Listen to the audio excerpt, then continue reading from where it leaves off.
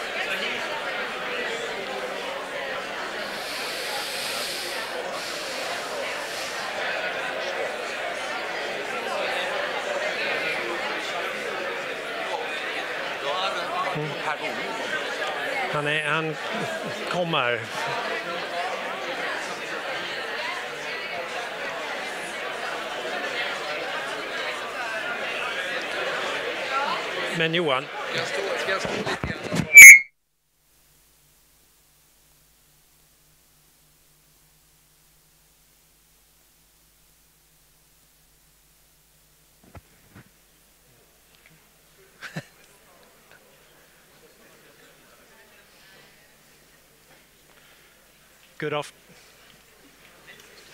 good afternoon, ladies and gentlemen, and welcome to the SEI Science Forum 2016. Um, it's a great pleasure to have you all with us today. This is actually the third day of SEI's discussions around the future directions of our research.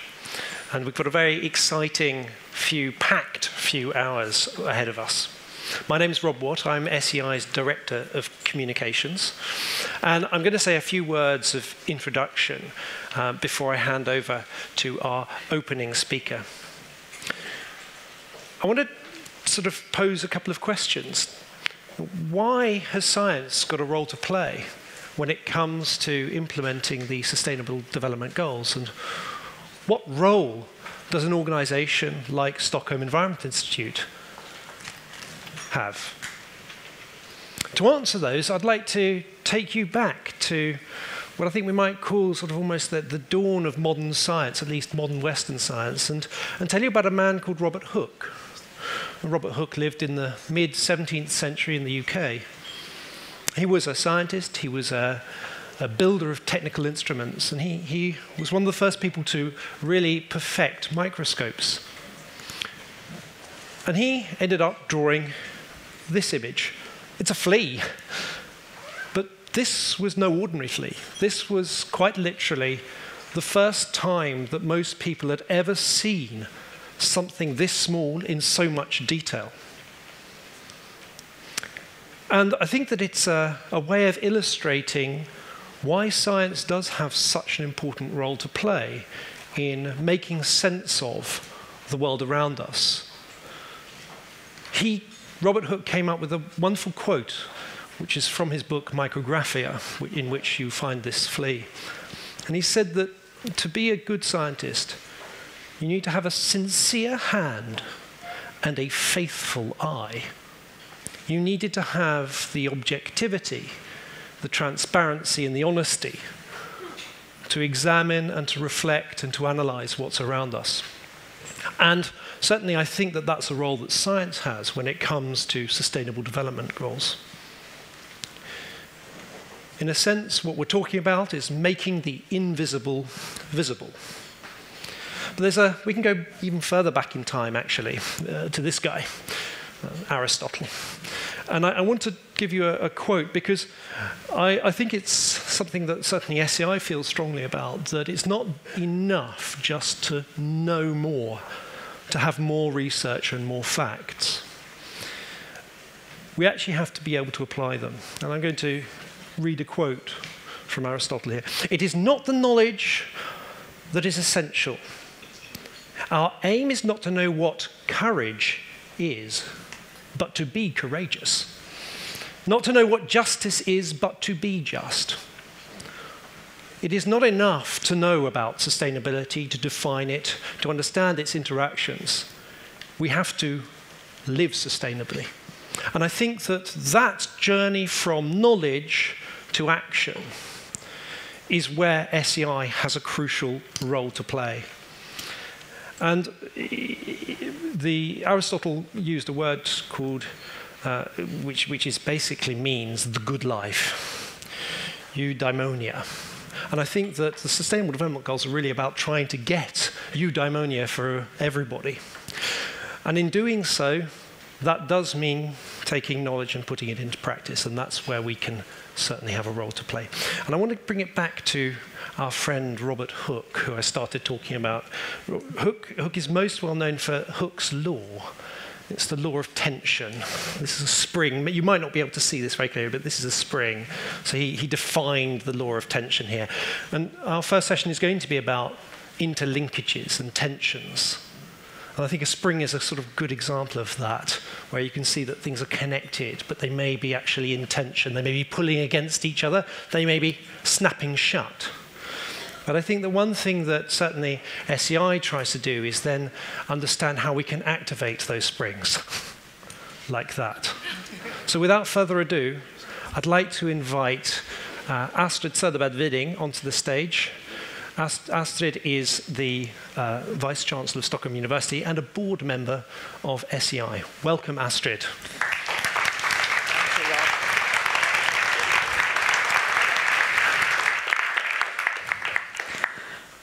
Minister, distinguished colleagues, dear friends. It is an honor and a great pleasure for me today to have been asked to deliver this opening address at the fifth annual SEI Science Forum, as member of the board of SEI, I'm really pleased and proud of the great interest for today's event. I think it's quite impressive that the forum is fully booked. And also happy about the broad range of participants, from policymakers to NGOs, from academia to media. As Vice Chancellor of Stockholm University, I'm equally proud to count SEI among our strategic partners and happy about our close collaboration. From our partly different points of view, or rather different points of departure, we share the common concern about the challenge of how to best implement the Agenda 2030 policy project, trying Eh, eh, the, so, sorry, the agenda. At Stockholm University, I have initiated an Agenda 2030 policy project, trying both to describe what we already do to implement the agenda and to outline the way forward across the disciplinary boundaries that are often so often supposed to create obstacles at our universities. And we are very happy to join forces with SEI in this. In today's first session, we will be focusing on the implementation of the 2030 Agenda, particularly in highlighting the interlinkages between the different SDGs. In the second session, which will be further introduced by SEI Research Director Måns Nilsson, policy coherence will be put forward as one of the tools for meeting the challenge. It is important to identify where policy coherence and alignment is needed, and it is equally important to identify who does what when, which will be addressed in today's final panel discussion involving representatives from politics, policy, and business. But first things first. It is a pleasure indeed to welcome Per Bolund, Minister for Financial Markets and Consumer Affairs, is our keynote speaker today. We are really looking forward to your talk. The three short presentations by SEI researchers that will follow will focus on the interlinkages between SDGs. This, in turn, might mean many different things, either attractions or tensions, trade-off effects or synergies, each presentation will take a different perspective on interlinkages, climate change, land, water and energy, and sustainable lifestyles. The moderated discussion ending the first session between Director General of Sida, Charlotte Petri Gornitzka, and CEO of Scania, Henrik Henriksson, will focus on defining the challenges for implementing the SDGs. When we talk about these challenges and about how to address them, however, I think we often do so with certain specific preconceptions. I have good reasons to believe that most people tend to approach sustainability from economic, social, or ecological evidence. This forum indeed contains plenty of research from the natural and social sciences that can be brought to bear on sustainable development. And this, of course, is of utmost importance. But if we are to actually achieve the Sustainable Development Goals, I also believe that we profoundly need to rethink and reframe our ways of life. In order to do so, we need to equally engage with arts and humanities, which much too often still remains the blind spot when addressing societal challenges, completely disregarded or regarded only as a decorative detail, which may come in as an addendum to the real thing. With my own background from cinema studies and aesthetics, I can't help thinking that this is totally wrong.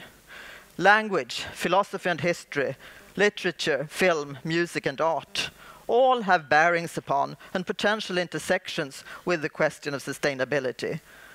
Arts and humanities have a crucial role to play in order to achieve the goals. The language in which we express ourselves about sustainability does matter and does make a difference. Research on everyday use of language offers useful insights in how to avoid rhetorical traps, how to spread knowledge about the goals, how to find ways to actually achieve sustainability. Philosophical and ethical perspectives are crucial, whether we talk about decent work and economic growth, of responsible consumption and production, or of peace, justice, and strong institutions. In history as academic discipline, storytelling has become a recognized method, not least within contemporary history, and storytelling definitely plays an important role within the work on sustainable development goals. I know that not least SEI has used storytelling as a means of communicating research, which indeed is very efficient and in itself science-based. Aesthetic disciplines, just like the fine arts themselves, all address the questions of how to communicate in other ways than through official UN documents or governmental bureaucratic procedures. They have the know-how and the capacity of reaching out by other means, not least through the senses, in order both to create new knowledge and to convince, mostly individually, but sometimes also institutionally. Lenin, in his time, claimed that film was the most important art, as it had the capacity to reach out to the masses. A documentary film like Al Gore's An Inconvenient Truth have, may have been much contested and criticized, but nevertheless, it played a crucial role in putting the questions on the agenda for a large audience. Many advertising films for Agenda 2030 also seem to share this Leninist conviction in the different ways of addressing the SDGs through cinematography.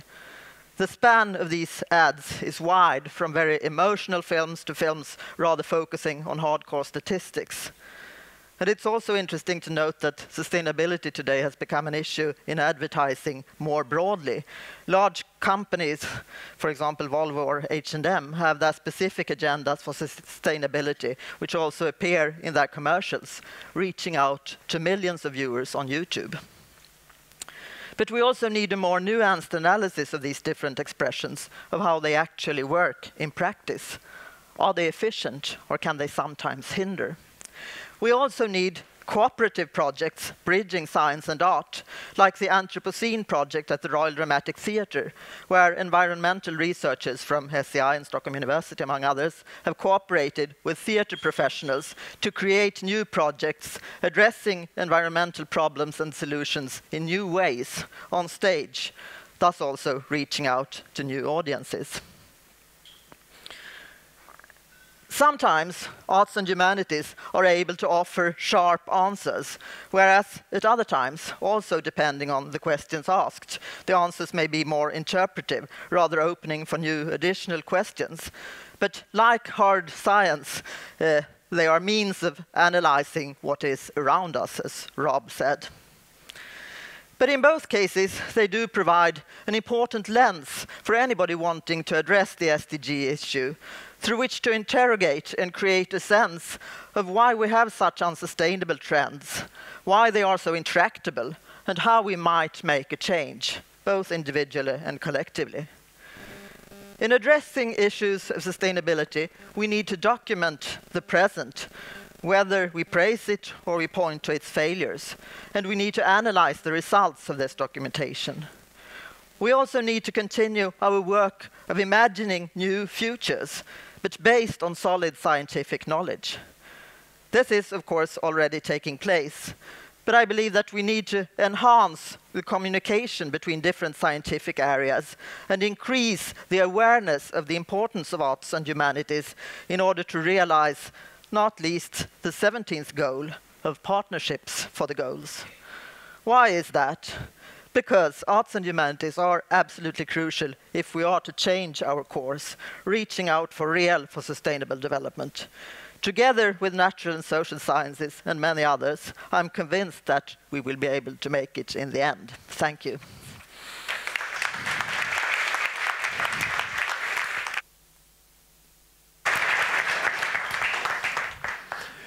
Thank you very much, uh, Astrid, for that inspiring and opening up um, and perhaps for challenging us to think a little differently about what really matters when it comes to the, the SDGs and their implementation. I'm very proud now to, to welcome onto stage Per Bolund, uh, Minister for Financial Markets and Consumer Affairs. Welcome, Minister. Thank you very much for taking the time to be here. Let me hand you this oh, equipment as well. The equipment. Thank you. Feels like the torch that will lead us into the Olympic Games or something. Um, thank you very, very much. And thank you so much for uh, allowing me the chance to, to come here and to speak to you. And it feels like a very great privilege, of course, to be speaking to such a knowledgeable audience uh, with such international uh, connections and so much information. So I will try to uh, stay out of the science and leave that to you and talk more about politics and what we can do in order to actually change the world and uh, make the future prospects much better for us all on an international level. Uh, I actually used to come from science uh, before I entered into politics. So I was a, a research uh, student and research, research fellow at Stockholm University, and uh, we were actually located together with SEI. So I feel like a, a part of the SEI family, although now in, a, a, bit apart from you. But I hope I can return later when uh, my pause from academia has, has, ended and I can come back to the, the real line of work that I should be occupied with.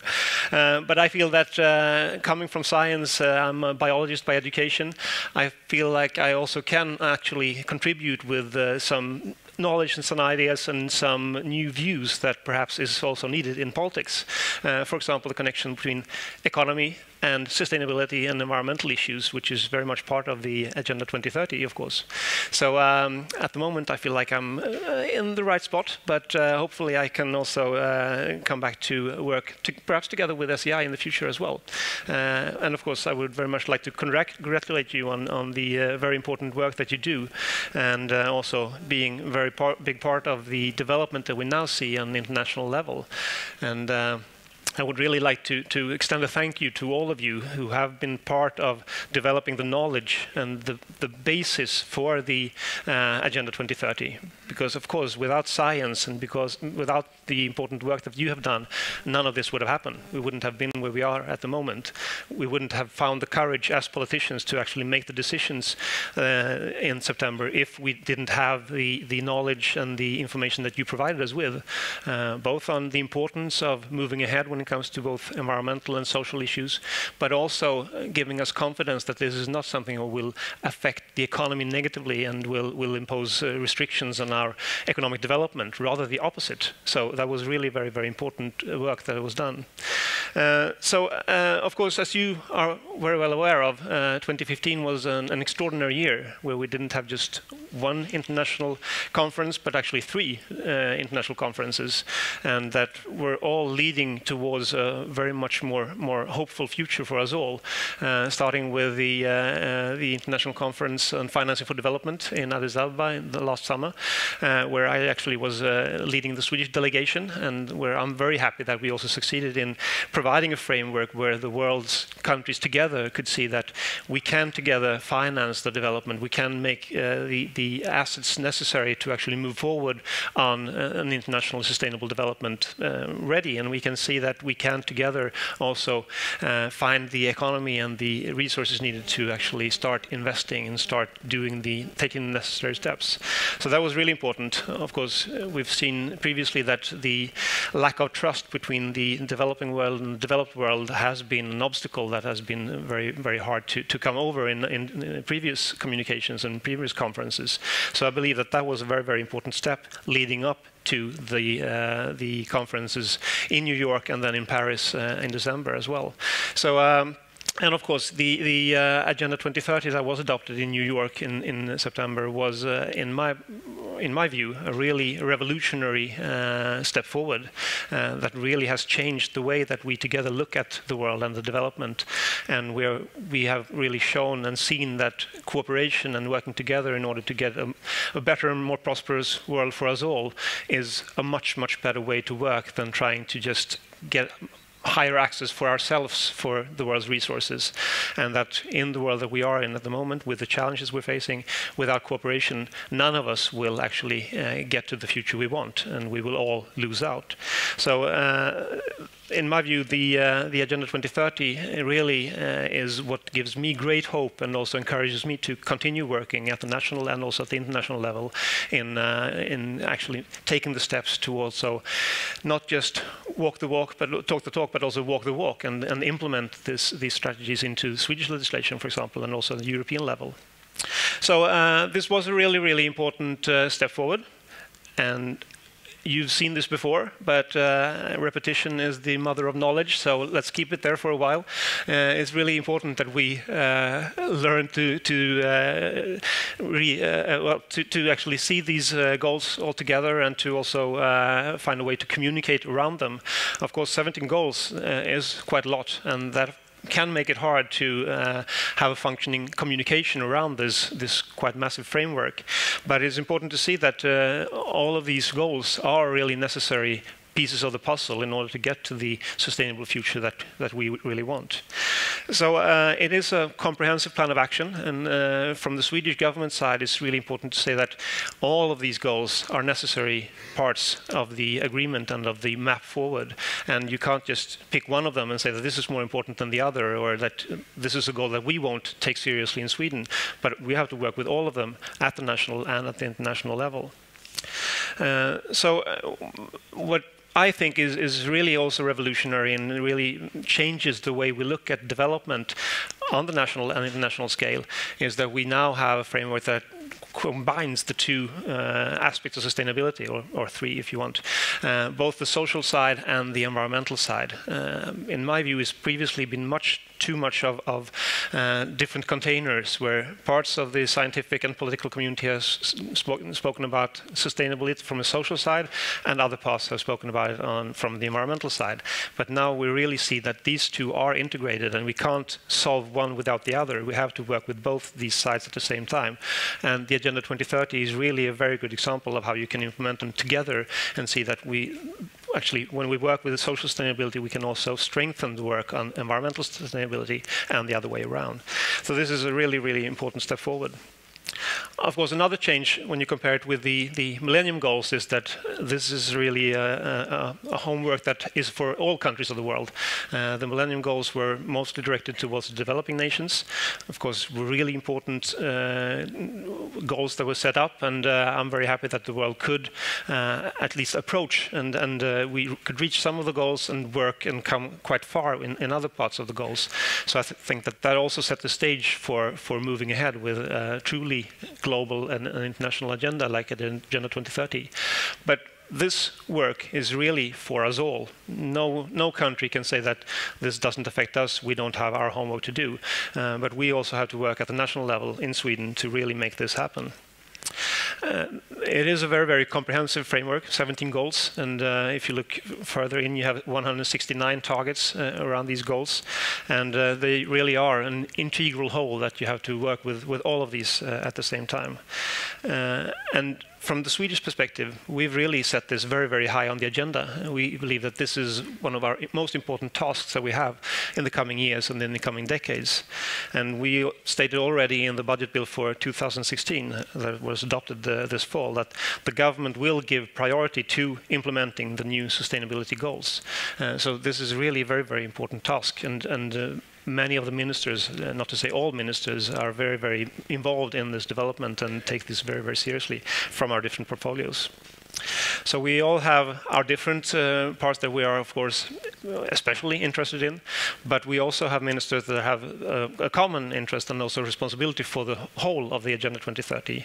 And uh, the Minister for Public Administration, uh, Ardalan Shekarabi, is uh, responsible for the national implementation in Sweden, and the Minister for International Development Cooperation, Isabella Lövin, is is responsible for the coordination of the international level and the international implement implementation of the agenda. And we also have the Minister for Strategic Development and Nordic Cooperation, Kristina Persson, who is responsible for strategic actions and, and larger steps that will have to be taken in, with the government, but together with other actors in Sweden as well. So uh, I'm happy to say that we're moving quite fast uh, in implementing the agenda in Sweden, and I believe that we uh, have come, far uh, when you compare it to other countries. And I think that this is also very, very important because we can't just be satisfied with having signed the agreement. Uh, that's just the first minor step. It's the implementation and taking action uh, in the real world that really makes a difference. So uh, one of the reasons why we are, are very eager and, and uh, very active in implementing the agenda in the Swedish legislation and Swedish politics is that we believe that action really speaks louder than words. We have the words, we have the targets, we have the agenda, but now we have to show that they really mean something, that we really take this seriously. And it's easy to remember that we've had international uh, conferences and agreements that uh, were very, very uh, amazing on the paper, but that actually weren't really implemented implemented on a global scale. So this is something we have to leave behind us. Now it's really time to also make this happen. And if countries like Sweden won't show that we are ready to do what is necessary, we can't really expect others to, to do the same. So uh, we have to really take action to show that uh, we mean what we have signed around the Agenda 2030. Another reason why we take this very seriously and why we see it as a very important step is because we think that uh, the Agenda 2030 is also the recipe for our society to develop in a positive way and for our economy to blossom in the future. Just continuing with some sort of, of business as usual will not deliver uh, a sustainable and strong economy in the future. We have to work in different ways, and the Agenda 2030 is really the map for us to also deliver economic means for, for the citizens of Sweden. Uh, for example, we know that reduced inequality, which is goal number 10, is a very strong driver of economic growth. Uh, we know that from science, we know that from international actors such as the International Monetary Fund, for example.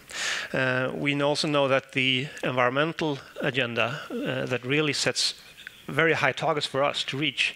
That requires of us to do massive investments uh, to move away from fossil fuel use in transport, for example, require us to start investing in electricity charging for electric vehicles, in uh, development of uh, large-scale bi biofuels plants all around Sweden, and uh, of course investments in, in rail and uh, um, public transport infrastructure, and uh, also in 100% renewable energy system, which is the goal of the Swedish uh, government. And of course, this is a development that requires huge investments in the coming years and decades. And of course, these investments also are a driver of economic growth. So if we want a strong economy in the future, I would say that implementing the Agenda 2030 as fast and as thoroughly as possible is really a very, very good way forward. So uh, how are we then going to work with the implementation? Well, we've started uh, running, so to speak, and have uh, already uh, made some progress when it comes to the, the strategy and, and the, the way to implement these uh, uh, different goals and the, the Agenda 2030 as a whole. So we've present, presented a delegation which aims to promote and to also facilitate and stimulate the work of implementing the agenda. we know that these measures cannot just be done on the government side at the national level level. We have to work both internationally with many of the uh, aspects of the agenda, but also on a very local level. So we have to get the local actors involved and, and uh, using their commitment in this, uh, in this work as well. So uh, they've started the the uh, uh, delegation has started to do start a sur survey and an assessment of the extent uh, to which Sweden uh, fulfills the goals. How far have we come so far, and what is necessary to to do in the future? What is the action plan for the implementation in Sweden? What measures need to be taken in the short term and in the long term? Um, we also uh, have given the the delegation an assignment to look at the best practices that is really available around Sweden and also internationally. Where can we find the actors that have really shown that it's possible to do uh, a make a difference and to, to find the measures that are the most, most fruitful to actually make the agenda happen? So we believe that is, is that's a very good way to move forward to find the actors that have really found the solutions, found the keys, uh, and that's also part of the, the delegation's work. Uh, and they will work both, of course, with the national and local and the international uh, implementation of the agenda. The delegation will also further anchor the agenda within Swedish society and with different actors in Swedish society, and also in cooperation on a global scale. Uh, and of course, starting a broad dialogue around this development and a discussion with, with other actors in society is a very, very important part of making the agenda happen. We know that, of course, the public sector, uh, government, and the local municipalities have a very, very strong part to play. But it's also very obvious that we won't make it on our own. We have to get the business community and the civil society behind the agenda if we are to succeed with the implementation. So that is really also part of, of uh, the, the work that the delegation will do. So we've also set, of, of course, aside uh, money for the delegation, funds for them to work with. Uh, so they have both uh, uh, money for the, the salaries and the work in the delegation, but we also have set aside money for the implementation on a local level and to fund local activities and to see that it's not an economic issue. It's not the lack of funding that should be the, the bottleneck that, that stops the development. So I think that's really important as well. Um, I was part of the uh, previous uh, that is similar to this, the Agenda 21. Uh, I was quite young at the moment and a young student, so I was uh, working at a very, very local level with, um, well, different projects in my neighborhood. And I was really encouraged by the international decisions and the development that was coming, and I saw this as very fruitful. Uh, but we all know that the Agenda 21 really didn't deliver. It didn't really happen. And in my view, that was partly because, uh, at least in Sweden, on the national side, we didn't have the focus and the, the energy and the commitment to actually making this happen. I saw that at the local level. There was a lot of, of commitment and a lot of projects uh, being started. But there was no one there to catch all this and, and make it happen on a, a, national scale. And that is a mistake that we will not repeat. We will see to it that we have a framework to really catch all these activities and connect them together and see that this provides us with a national framework for implementation and also, hopefully, to send strong signals to the international community that we take this uh, most seriously. So, um, of course, the government agencies uh, will also be responsible for their different parts, and all our all ministers in the government will have their parts. And I would like to uh, really go into focus and look at, uh, for example, from my own perspective, uh, one of the goals that I will uh, work very hard on is, of course, goal number 12, which is on sustainable consumption and production. Since I'm the Minister of Consumer Affairs in Sweden, I see that this is a very, very important part of, of uh, making the agenda happen. So we are um, taking the agenda forward on a Swedish perspective by introducing a national strategy for sustainable consumption.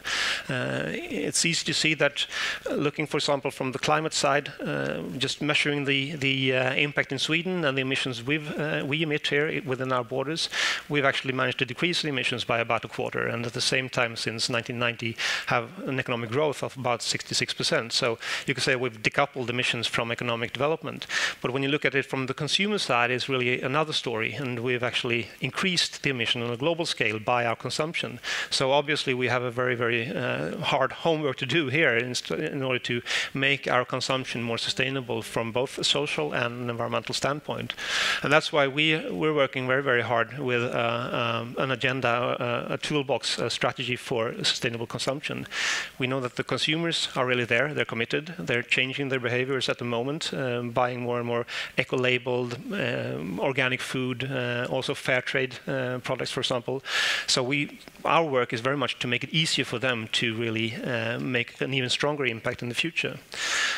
so this agenda, the strategy will be delivered in the budget bill for next year, that will be adopted in late fall this year. So we're very, very much into the work at the moment. We're working with general measures such as guidance and information. Uh, we know that if the consumers are provided with the right kind kind of information, the right knowledge, they really do use that in order to make a strong impact commitment. Uh, of course, environmental labeling is one very, very good way to make the information easily available to make the choice easy for the consumers. We work with education, of course, if we can get these uh, um, thoughts into the, the education system and, and get the, the young generation to work with sustainable consumption, that really can make a difference both in the families and uh, how they develop their consumer behavior, but also, of course, for a long time span ahead. Uh, we're working with lifestyle issues, uh, such things as what provides us with status. Uh, we know that it's becoming actually, at least in Sweden, a social problem that consumption is, is so heavy and our homes are being filled with all these products that we buy.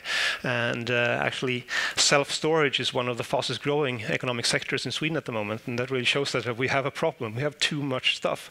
So, uh, for example, uh, the sharing economy, I think, is both a solution for, to social problems in Sweden, uh, both uh, having too much uh, stuff at home, but also uh, connecting people with each other and finding new social networks developing at a very rapid scale. And of course, also decreasing our environmental impact at the same time. And of course, the, the financial sector, we are all also financial actors, and we can make a big difference by uh, making our savings work in the right direction and, and decreasing uh, the uh, fossil fuel dependence, for example. So that is also a really very important uh, aspect. So, of course, we're also working with the most important areas of, of consumption from a sustainability side, and we know that is the uh, housing, food, and transport, the uh, uh, the car, the uh, uh, condo, and the uh, cow. You could say is, of course, three major areas that we have to work with, and we're trying to find ways to to actually make it easier for the um, uh, consumer to act in these areas. Providing public transport and cycling, we are funding from the government side investments into sustainable infrastructure at the local level, and uh, then we demand from the local level that they have a plan how to decrease the emissions and to uh, improve uh, conditions for walking and cycling, for example, in the local municipalities. Uh, we are also working with a food strategy on the national side. How can we decrease long uh, transportation of foods on a global scale and start using uh, the local assets instead? how can we implement, for example, encourage people to decrease their footprints by um, in well, increasing their vegetable uh, food intake instead of using, eat, eating uh, a lot of red meat that we know also have negative health effects. So that is something we're working on the, uh, when it comes to the food sector. And also, uh, of course, the housing sector, where we both uh, are encouraging building energy-efficient houses. Uh, we have a strong lack of housing, so when we build, we should build energy-efficient housing, but also refurbishment and, uh, well, rebuilding the buildings that we have today and making them much more energy efficient at the same time. So that are some key aspects of the strategy for sustainable consumption. And I believe that consumption is, is also one of the very, very important areas that we have to work with in order to get the Agenda 2030 really get going and get it implemented on a national but also on an international level. So just to give you um, a sample, an idea of how we try to work with the, the Agenda 2030 also within the portfolios of ministers such as myself. So I believe that uh, Sweden has a lot to win by moving ahead, by being the first country to really uh, start working on the Agenda 2030 and really implementing it ahead of, of the international community as a whole. And uh, the first thing we have to win is that we uh, can really set an example, showing that it's not just beneficial for the whole of the world, but also for each country uh, and the citizens in our country as well. And also, uh, of course, for the development of our own national economy and the sustainable uh, development of our society, uh, which is, of course, part of our responsibility as a government to also provide a good future for our citizens and uh, the people that actually elected us. So uh, I think that this is really uh, a very, very important and interesting time to be in politics. And I believe that we have a new world after 2015. We have a common map for the sustainable development of our planet. And of course, now our focus is very much on a rapid and thorough implementation of the Agenda 2030 into Swedish politics and legislation. Thank you very much.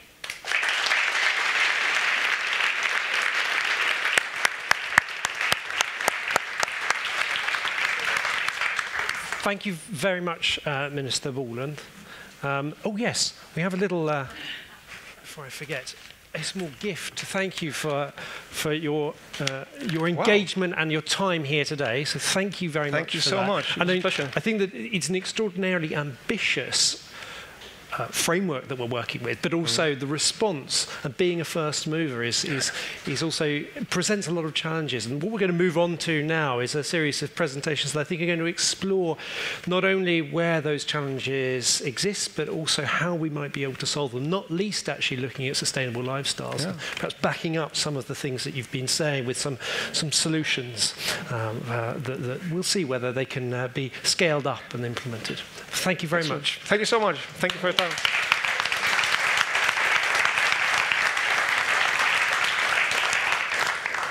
So I'm now going to hand over uh, my moderation role to my colleague Niall, Niall O'Connor. Welcome, Niall, to the stage. Niall is, is, is, is, a, is a relatively new member of, uh, of, of, the SEI team. So uh, this is a great opportunity for you to be exposed to some of our key stakeholders uh, and, and they can get to know you a bit more. So uh, I leave the stage to you. Thank you very much. Um, is this microphone working? It is, yes. Okay. Um, I've been kind of asked just to give a little story, uh, kind of bringing together some of the critical SDGs. So rather than going into the science and the detail, which I know the, the, the, next colleagues are going to go into detail, I just said I'd give a small story uh, where I see the interlinkages. Um, we've obviously been looking at the three here, which are climate change, land, water, energy, and sustainable livelihoods. So, as you said, I just took over in uh, SEI recently. Two months ago, I moved to Bangkok. Now, I was sure I knew where I was going, um, somewhere in Asia. I didn't realize it was here.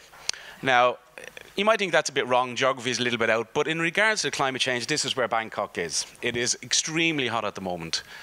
We've also seen that over the last kind of um, few months, we've had the hottest April ever, which was followed by the hottest, or which followed the hottest March ever, which followed the hottest February ever.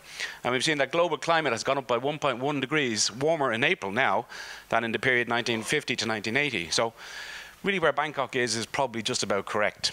Uh, it's too hot. So what we then tried to look at is what would it take a normal day for me and how does this impact on all of these different SDGs and how do we know that they're interlinked? Well, I'll just go through one day of uh, going to work. This is the weather forecast in the morning. It's 99 degrees, which is around you know 40 degrees centigrade. It's hot. There's an unusual wind chill factor of 124, which is even hotter. So what do we do? We have a little bit of local adaptation we go through moles. We try to avoid going into the heat at all. So you get from the cold train into a nice mole and it's nice and air conditioned and you walk through that and you try and get into your office without getting burnt. But this is unusual. The moles, if you look at them, the size of these moles are massive. The consumption of energy in these are huge. And there's one mole in particular in Bangkok that consumes as much power as one province in northern Bangkok. This is not sustainable. So what do they do? They build more dams. So the Mekong River now has got 20, maybe 30 dams, probably another 16 planned to produce more energy. And that's okay, we got our energy, we're solving that problem. But the problem that with that is that with ongoing climate change that's happening, we're seeing rainfall patterns change. We've had a massive drought for the last number of months there. The water levels are dropping. Inefficiency in the dams. So one problem follows another. So with that, we see also the drop in the water means that there's less water for irrigation. Less water for irrigation means there's less agricultural productivity. Less agricultural productivity means there's more insecurity for food production. So each one is having a knock-on impact. So if we don't look at all of these SDGs together as a whole, we're going to cause a problem for another one unless we kind of stop and think a little bit. So to make it all work, um, Oh, somebody changed my slide. Uh, to make it all work, we need to make sure that we're speaking the same language. And unfortunately, there's a YouTube clip here that we can't play at the moment, but essentially it's uh, about understanding languages. And there's an Irish fishing ship in trouble off the coast of Germany. And he's going, Mayday, Mayday, we need your help. We are sinking, we are sinking. And the German Coast Guard is going, What are you thinking about? so we want to make sure that when it comes to the SDGs, we link them all together, we understand what they are, and we don't just work independently in groups. We want to bring them all together as much as possible. So, going back to this, we want to try now introduce a number of very key scientists to help us to understand the linkages between some of these. Um, I don't want to kind of raise their challenges too high, but I think there is great potential for them to do so, and I have a lot of hope in them. But also, just for myself, I think hope if people begin to awaken the spiritual part of themselves, that heartfelt knowledge that we are caretakers of the planet. And the scientists that are about to follow hopefully will give us clear understandings of how we bring together the SDGs, how we bring the science to play, and how we solve some of these problems. So without further ado, can I please call the first uh, scientist to stage, uh, Ms. Hannah Wanjiru from Kenya, who is a research associate at SEI, and Mr. Richard Klein, senior research fellow. And just to note that uh, Richard has just won recently, I think it was last week, in the was it Adaptation Futures Conference, uh, an award for outstanding contributions to adaptation science. So congratulations on that, and welcome to the stage.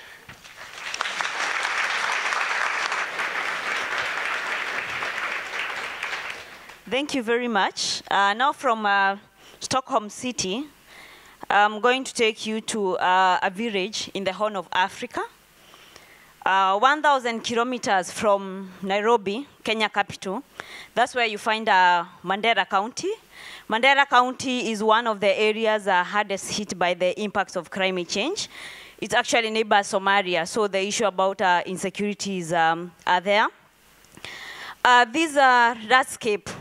The people who live here depend on livestock, and they are pastoralists in nature.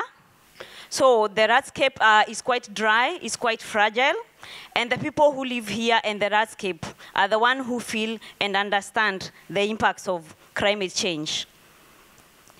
Uh, during the dry spell, it's a common practice that men will go out with their livestock to look for green pastures, if at all they are there. Sometimes they end up getting some very dry or brown pastures for their livestock.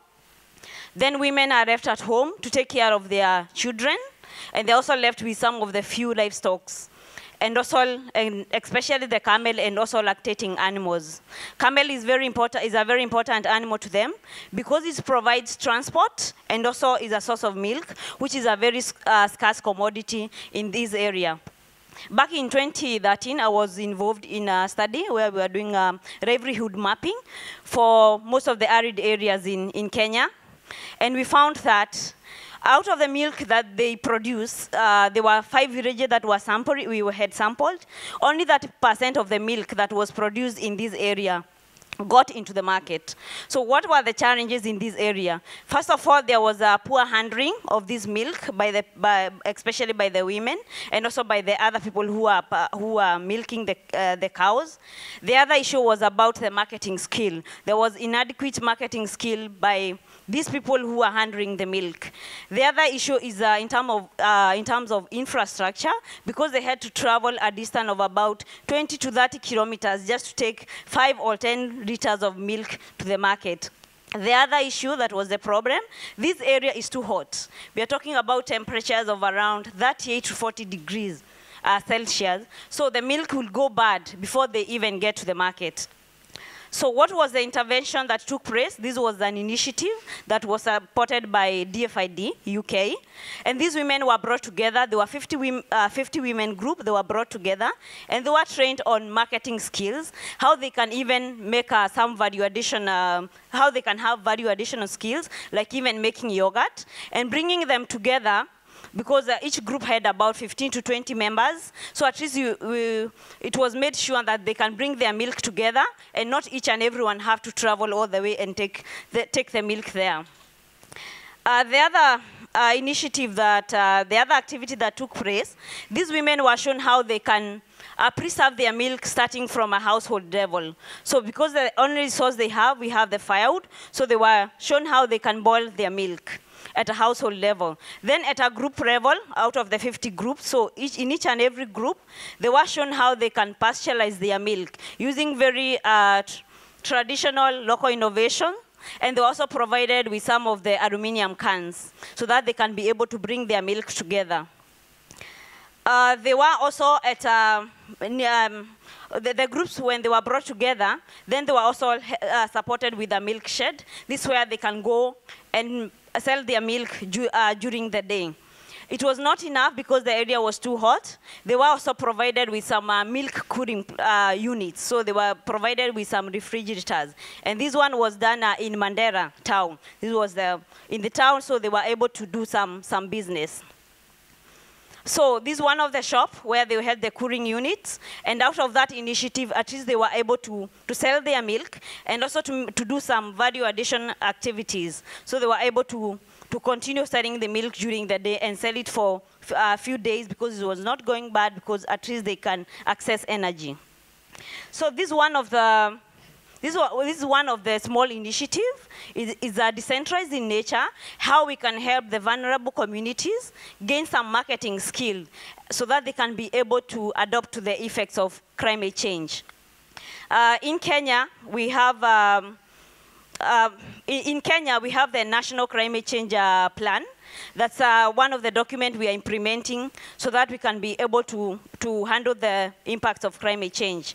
Um, since the project was done in 2013, it closed down, but now the county government of Mandera have taken up this initiative, and it's a very strong element in the livestock uh, promotion strategy of this county, and also other five counties have taken up this initiative. In this particular area where the initiative was started, we have about uh, 300 people who are benefiting from this initiative, and so far 5,000 women groups have uh, been trained on this.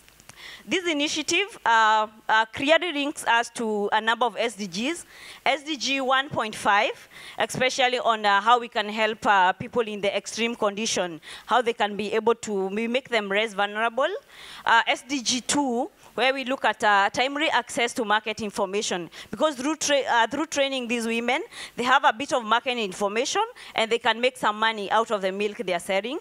SDG 5 on uh, women empowerment and also SDG 7, because they were able to access um, energy, they have the milk cooling plant. Uh, this is an initiative helping them to make them um, uh, less vulnerable. Uh, also, it links us to climate change, uh, SDG 13, because we are talking about how some of the um, initiative can be linked to the, uh, to the national strategies.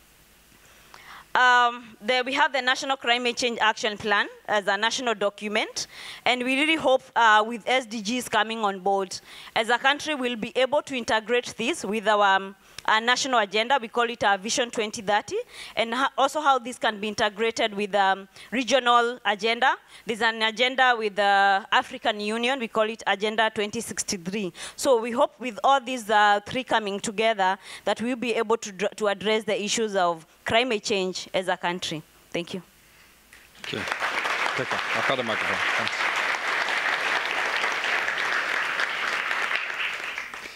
Th- thanks, Hannah. And, and you showed that uh, of, of the many stresses and pressures that uh, the women in the north of Kenya are already facing, heat is one of them.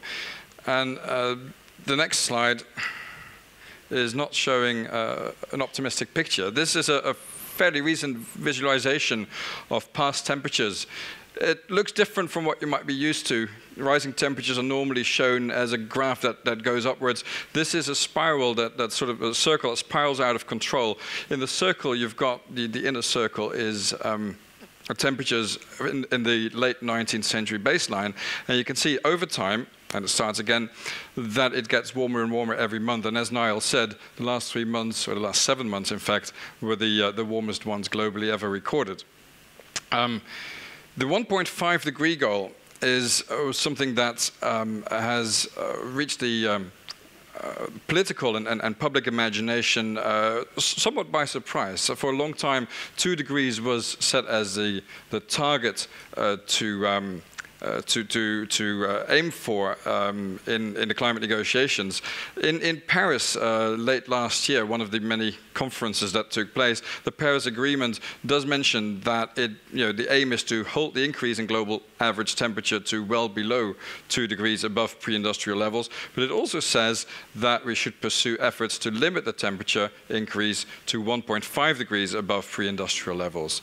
This was after a lot of pressure from uh, particularly the small developed uh, the, the, small island development states and, and, other least developed countries who are already facing the impacts of climate change and are realizing that two degrees is actually already making things quite dangerous for them. Um, and this was um, further substantiated in recent research in the journal Earth System Dynamics, where for a number of different sectors, uh, the researchers show that half a degree already makes a big difference when judging how different parts of the world will feel the effects of, of climate change in, in crop production, in sea level rise, in urban heat stress, and, and other sectors. Now, what does that mean in terms of, of emission reductions? If we if, if two degrees isn't ambitious enough and we were actually to go for a 1.5 emission trajectory, that's the bottom line on this, on this slide, uh, the blue one that actually goes through the axis there.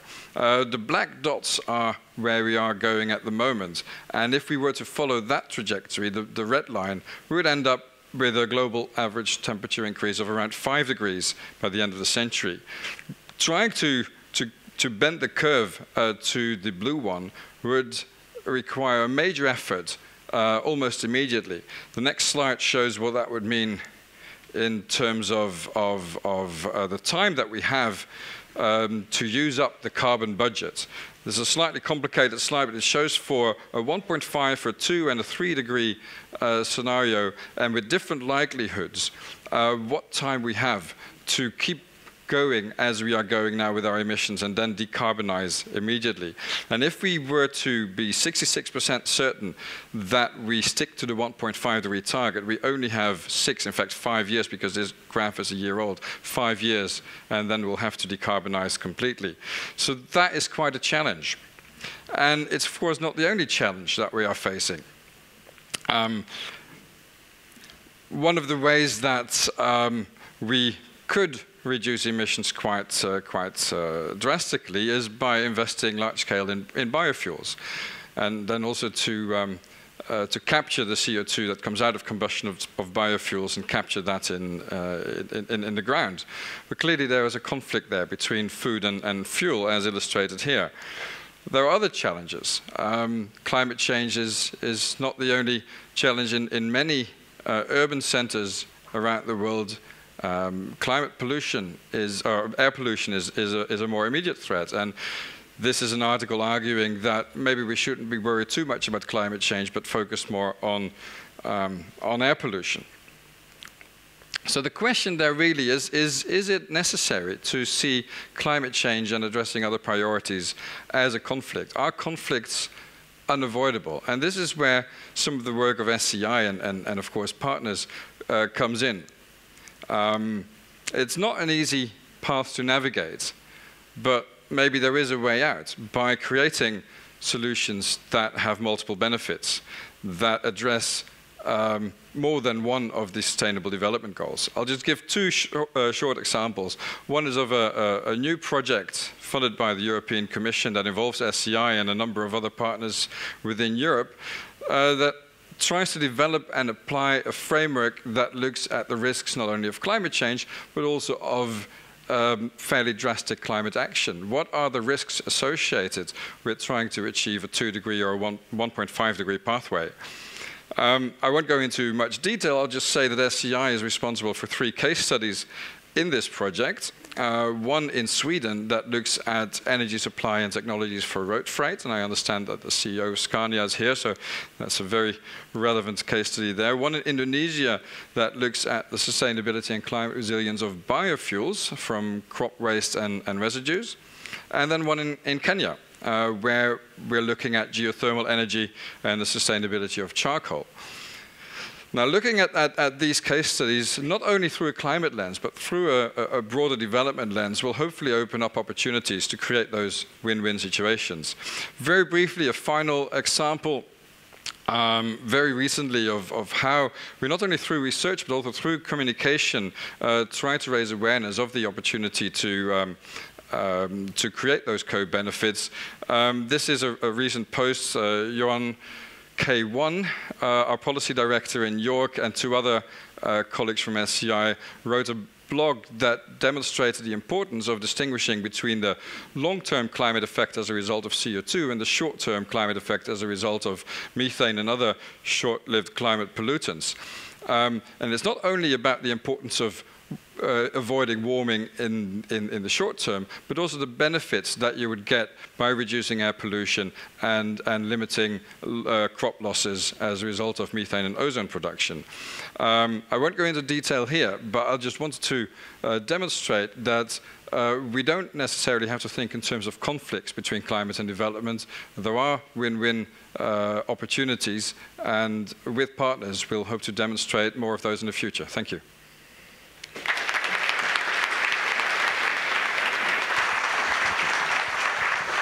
Thank you very much, Richard and Hannah, for that. Uh, little bit of understanding of local to global issues. Uh, without further ado, I want to keep on time with people. So, can we ask uh, Jakob Granit from the Centre Director from Stockholm, along with Marisa Escobar as a senior scientist, for the second presentation? Thank you so much, uh, Niall. And what we wanted to do in this session was to really look at land, water, and the food ecosystem connections. And I just simply wanted to introduce a little bit of work that we've been doing with the Global Environment Facility to look at the connections between science and policy and governance uh, frameworks. Now, the starting point for this is to see how can, you, how can we use the SDG framework to look at the big, big topic of, of water resources. We are seeing clearly now that the global water commons are under major threat globally. And this is clearly seen in the freshwater systems that are due to major development upstream, economic development, face severe pressures. And according to evidence, about as much as 80% of the world population face some form of water stress in the systems. Now, the impacts of that, we can clearly see, comes as water uh, release nutrients into our coastal zones and ecosystems, and we see dead zones developing along the coastal zones. A clear evidence of that is also around here in the, in the Baltic Sea region. And this is exponentially increasing over time. These dead zones that have an impact on coastal fisheries, that have an impact on, on, on tourism and developing in the coastal zones. Now, not only that, the final is all, all, the way up into the open oceans. And in the open oceans, we see clearly now that no marine area globally has, is, is not suffering from, from these impacts. And one aspect of that is, of course, ocean acidification, which is a part of the global climate change uh, problem as carbon dioxide is taking up in the water systems. Now, this is, of course, illustrates a huge challenge. But what can we then do? How can we try to address this in a different way? Now, what we've been doing, uh, we have been looking at the evidence uh, in, in, a lot of projects and, and, across the globe and how we try to address them from a governance and management perspective. And clearly, as we have heard before, we work very much in silos. So the idea here is, is, can we connect the silo thinking from land resource systems that we're working into the freshwater systems, down to the estuaries and deltas, coastline, adjoining sea, and into the open oceans. We don't simply have that type of framework today. But as you can see here on the slide, we see how we have some key flows that are connecting these different segments. Water flows, sediment flows, pollutants, different form of pollutants, biota, and material flow because of our, our, major development in cities and along the coastal zones. But also coming back, a whole set of very positive uh, uh, ecosystem services like flood and drought connection, uh, control, like freshwater, energy, of course. You saw the, the hydropower dams. So now can we find ways of, of, linking that? And that's what our research has been looking at, and we have developed some theory of change on that. But just to see the connections, because the, so the Agenda 30 here is really something that can help in this. Overarching, of course, we have the fighting the poverty issue and climate change, as we've seen before. But we can also use the, these, these, uh, these systems, the SDG, to look at these different segments, terrestrial ecosystems, water and sanitation for all, modern energy, resilient infrastructure, and the cities, of course. They all link to this source to sea flow and sustainable use of the oceans, seas, and marine resources. Now, as you can see, unfortunately, the SDG framework did not use the source to sea system, but yet, anyhow, we can use it in order to identify what type of governance and management approaches could be realistic as we move forward. And to illustrate that, mm -hmm. I hand over to my colleague Marisa, who will be okay. case study from Colombia. Thank you. So let me take you to Colombia, and in particular to the Magdalena Basin. In the map, you can see the river that goes from the Andes north and to the Caribbean Sea. And the person in this image, Juan, I don't know Juan in person, but I have met people like him in Colombia who live in the lower part of the Magdalena and whose livelihood depends on the fish that are in this rich ecosystem of connected wetlands that have variable flows and seasonal flows that uh, are the ecosystem in which these fish live, and that are also the livelihood for Juan. Uh, although these fish are not in the most pristine condition already because there are some levels of, of development, uh, Juan's livelihood still depends on that. And let's go to another place of Colombia, to the mountains, where Rubiela, whom I do know because she's my aunt, uh, she lives in uh, this little town um, in the mountains that recently has experienced a tourism boom uh, because of its charming uh, architecture and colonial setting. And Rubiela is benefiting from this boom because she can rent the rooms in her house for these tourists. But for this business to be steady, she needs reliable water and energy supply. Well, as you can see, Juan and Rubiela probably live in very different worlds, but they are connected through this system. They live in the same basin, uh, in different places of this basin, which happens to be the most important basin in Colombia, is the Magdalena watershed, as I explained. It goes from uh, the Andes north to the Caribbean, 1,500 kilometers of length, is where 60% uh, of the Colombia population is located, 30 million people. The cities of Bogota, Medellin are also located here. And it's also where 70% of Colombians' hydropower happens, which is uh, um, and Colombians' electricity comes 70% from hydropower. So uh, it's a very important basin. And in years like El Nino 2016, uh, the scarcity is spread out. And uh, of course, the talks for improving hydropower uh, are more pressing. And you can see the white triangles in the map show where all the new hydropower development is planned.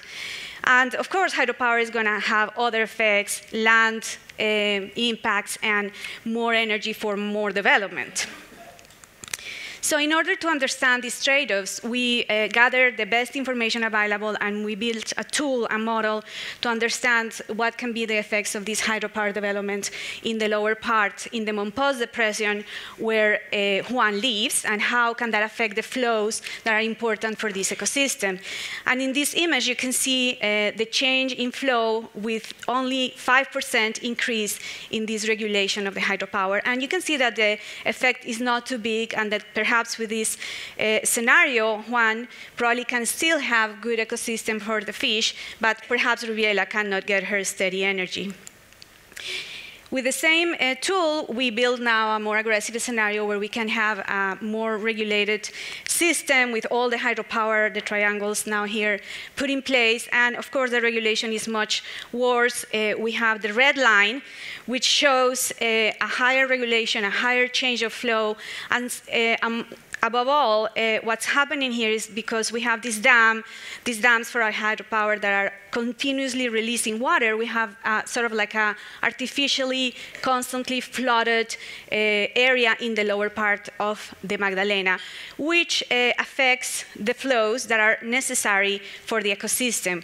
Uh, we need the low flows as well, this variability in the flooding, so we can have uh, protection and, and, the necessary um, conditions for the early life stages of the fish. So in this case, perhaps Rubiela can get her energy, but Juan will be um, a greater effect on the fish. So uh, with this simple example and uh, not showing all the results, you can see how using these kinds of tools, we can uh, understand better the trade-offs and also quantify those trade-offs, which is very important. So we can start linking the effects of these SDGs uh, proposals and weigh the trade-offs uh, between this linked water, energy, food, ecosystem continuum. So we can uh, perhaps find solutions that are better uh, for all and hopefully uh, integrated solutions for uh, Juan and Rubiela.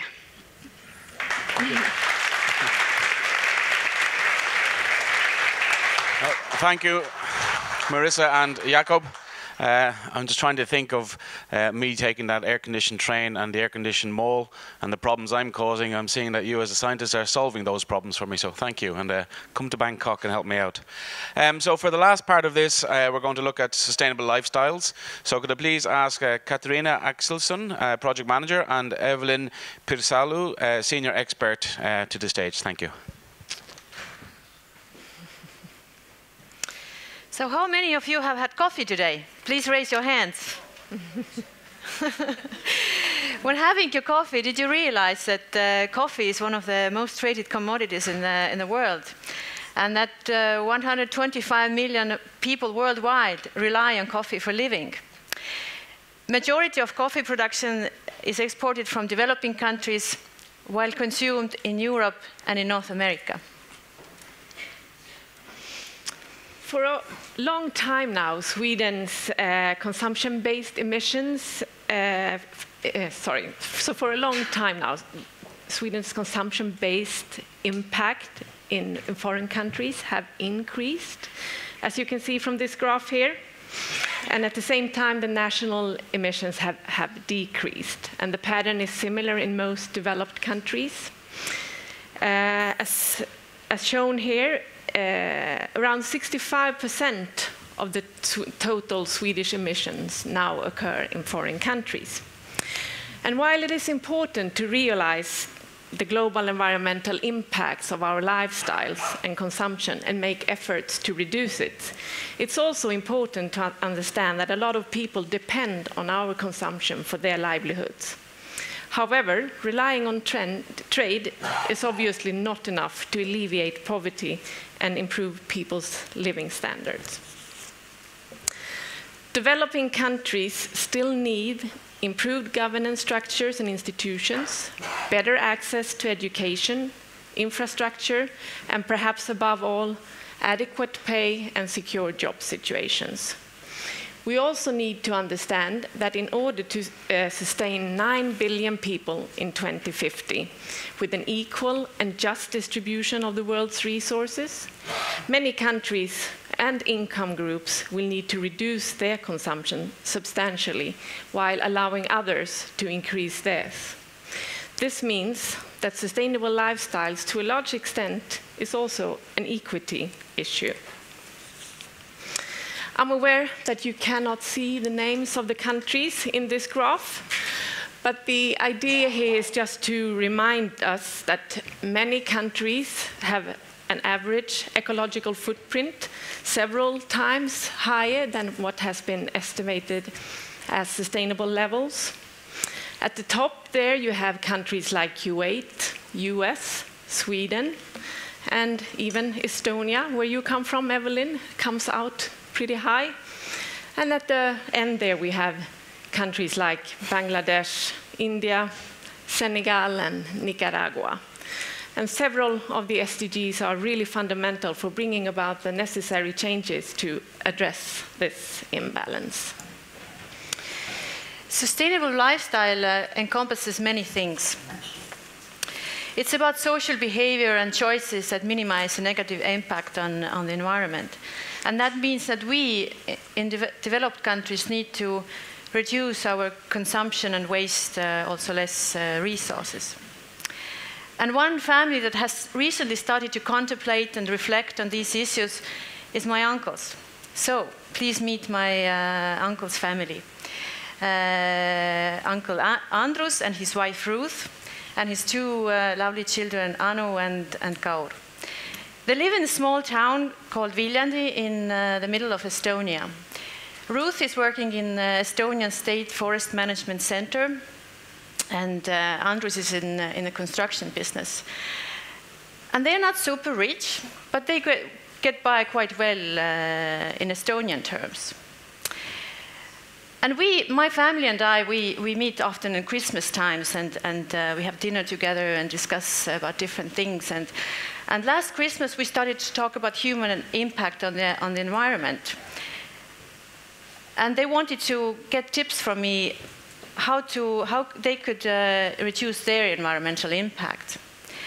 Both Ruth and Andrus, they have heard about the seriousness of global warming, but so far they have not found uh, inspiration to to, to reduce uh, their environmental impact. But one thing that really started to change uh, the way we're thinking about these issues and started, started to think about these issues was one day when their daughter Anu came home from school. This was in last uh, autumn. And declared that she wants to become, uh, or she will become a vegetarian. And that was because uh, at school she had heard that uh, food can have a very big impact on, on the environment, and vegetarian food uh, is better for, for global environment. But the problem was that um, the school canteen doesn't really have uh, vegetarian food, as you see from the pictures. So she asked from her parents, could she bring her own food to the school? And the parents were thinking, well, this is the wrong way to go about it, and they decided to uh, talk with the school administration. And the response what they got was that, no, this is really difficult to do, and our chef doesn't even know how to make vegetarian cook, uh, cook vegetarian food. And Ruth and Andrus was quite astonished by this answer, realizing the system does not, does not actually support the sustainable lifestyles.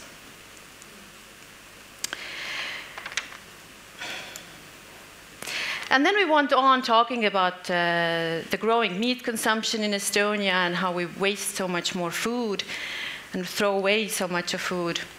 Um, in our study from uh, Tallinn Center, we have found out that average Estonian throws away 63 kilograms of uh, food each year. And even though may that's maybe not so much compared to other European countries, it is still comparably high of uh, what's happening in sub-Saharan Africa and southeastern uh, Asia, where people throw away only 6 to, to 11 kilograms of food. So this uh, made us also think about the time, not so long time ago, when we were living in quite tough situations in Soviet time, when we didn't have so much food, variety of different food available.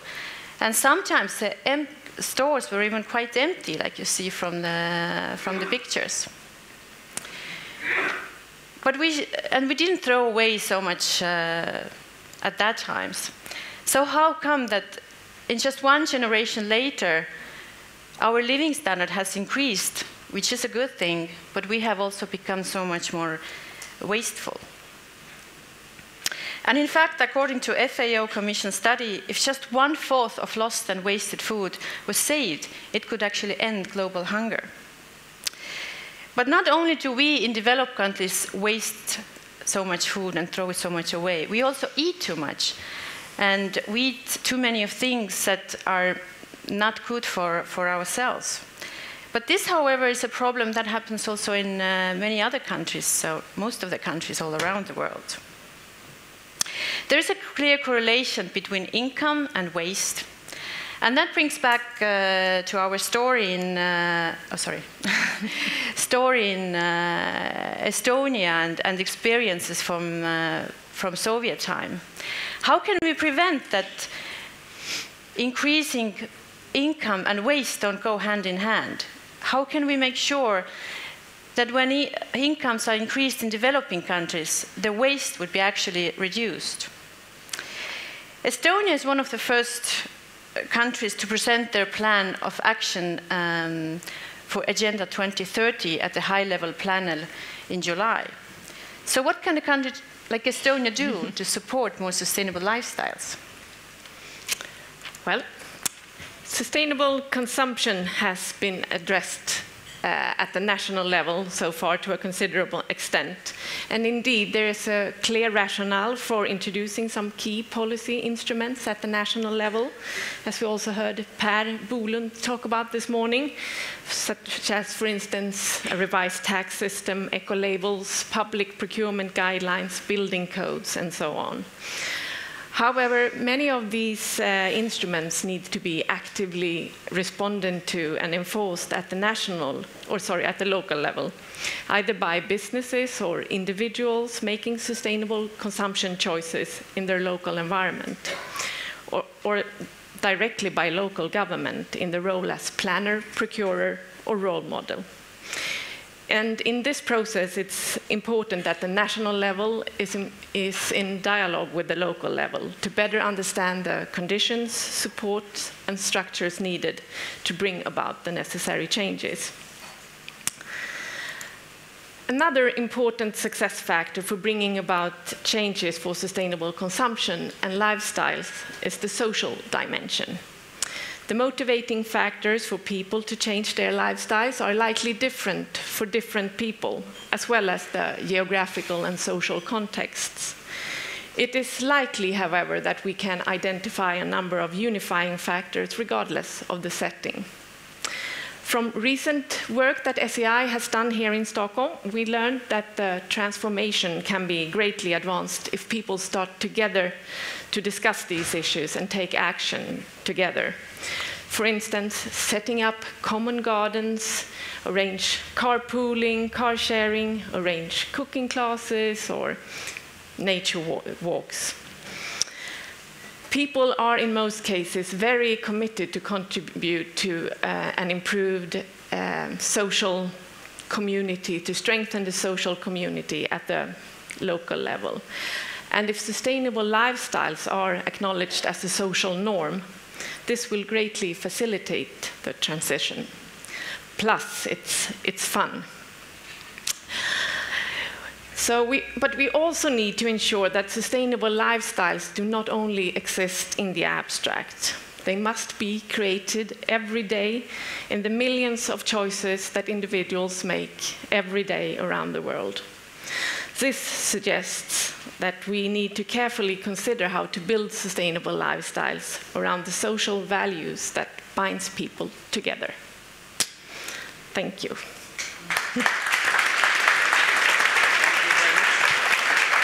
Evelin and Katarina uh, for that uh, wonderful uh, presentation. And I'd like to thank all of the presenters for all of the work they've done. They've shown for certain that there is a lot of linkages between the various different sustainable development goals.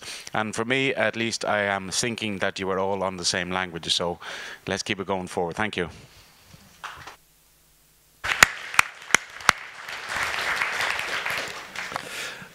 Thank you very much, Niall. We're going to move straight on. We're running five minutes late, of course. That's always the way when you've got interesting presentations and speakers.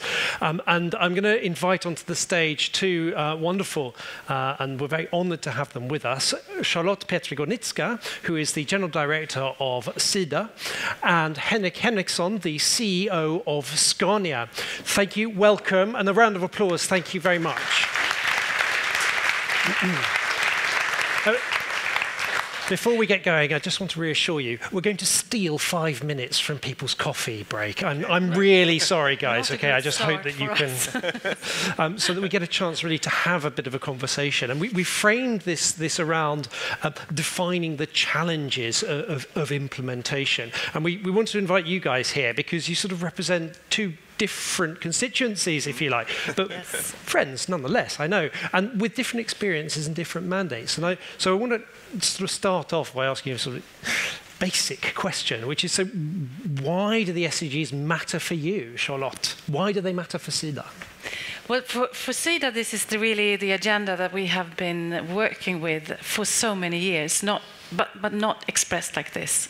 Uh, and it's, it's, it's a, very inspirational agenda because we've been together with many of you.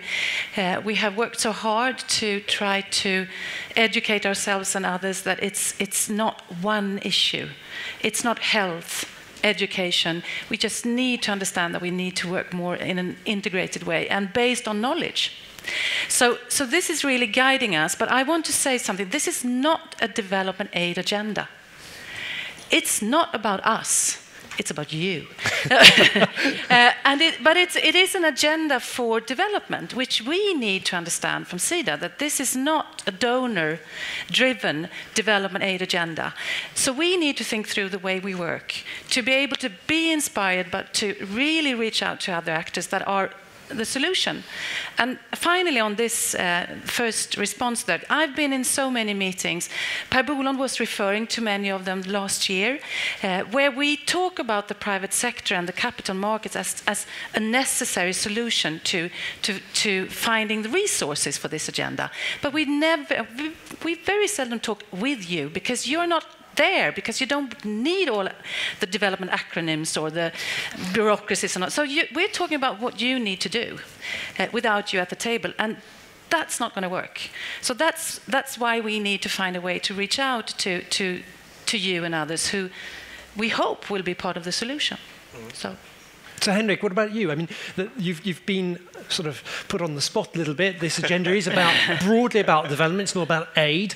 And, yeah. and as, as I think Charlotte has put forward, you know, development means jobs and it means investments. Mm. That's perhaps where you no, come in. So, I why does it matter? We, we are on the same uh, wavelength here. I mean, we work well together. Uh, mm. We have the Swedish Leadership for Sustainable Development that is organized by Sida. We participate in there.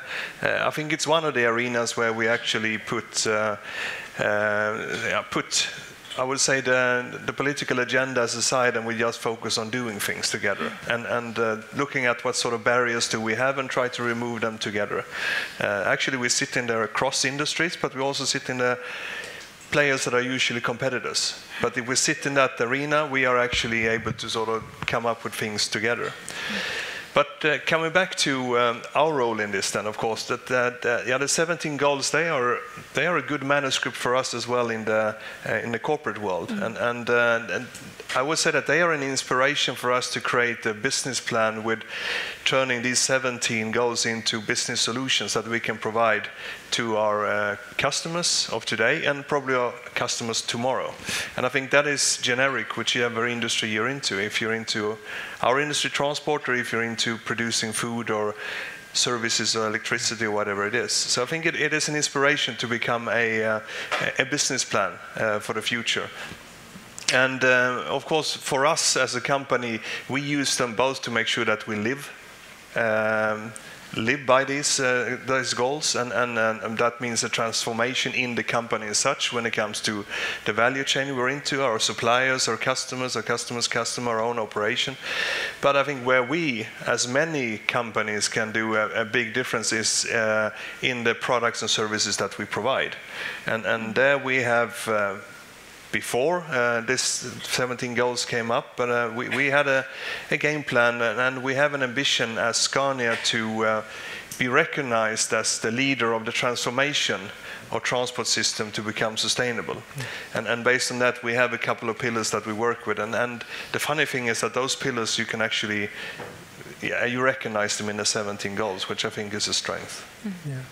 Can, can I ask a question around, I mean, Per Bolund mentioned uh, what, food, housing and transport, and, and this comes up to you. I mean, yeah. your transport sector, but you're also responsible, I suppose, for yeah, the, the, logistics of getting the food to the supermarkets that gets on our plates. Yeah. I mean, uh, can you talk a little bit about how perhaps you can't do it all on your own, that it's, it's about the partnerships with others and, and developing right. value for them? Because You're right, you're absolutely right. I think if we start with what we can do ourselves is that we're focusing on three areas. One is energy efficiency, which I think everyone can understand what that is, so make the, the vehicles uh, more energy efficient.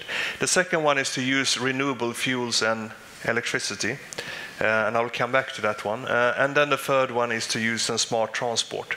Um, but I would say in all of these three pillars, uh, you cannot do it on your own, and not one of them is the silver bullet solution. So you have to mm-hmm. have to work with both or, or all three of them, and you also have to work in partnership because you're always just a small player in a big value chain. And if you don't go up and take a holistic view of that value chain, you will not see the waste. Mm uh, and you will not see the, the, the challenges that mm. you have. Uh, I think one example is, is biofuels. Uh, I think at the moment in Europe there is um, a new directive coming up at the end of the year, so there's a lot of sort of articles coming out now, and it's a little bit bashing biofuels, mm. and, and it really makes me really angry, mm. to be honest, and, and because and I don't have a stake in that. Uh, it doesn't matter for us what, what, sort of fuel you put in our vehicles. But what irritates me is that we sometimes take a very narrow view of, of a subject instead of go up and look at it from a holistic point of view. I don't know how many of you have been to the river delta in Nigeria where they produce oil. How many of you have been in Basra region in southern Iraq? Mm. I've been there. Mm. It's not a beautiful sight. And, and, and, for some reason, we use another type of goggles when we look at biofuel production instead of how we look at fossil fuels. And, and uh, there was a funny picture here before, I think Richard was showing about sort of the, the power struggle between food and, and, and fuel. I would say that the, that so that I don't agree with that at all. I mean, there is no conflict at all. I think it's fueled by by interest that has a second agenda. In Europe, we're spending more. We use more land in Europe for golf courses than we do to produce biofuels. Yeah. And if I remember, you use quite a lot of water to get the gra- grass to become green as well. So, You- so I think we you're have. not a golfer, are you? No, no. I, actually, I actually am. I have quite a good handicap, but I'm. but but. Uh, How can you live no, but uh, but I think what, what I'm trying to make a point of is that you need to look from holistic Yeah, point of view, and that's where our cooperation Yes. comes in. I mean, we, we do a lot of things together where where actually, if if um, an issue regarding the transport industry comes from Charlotte, it's more credible.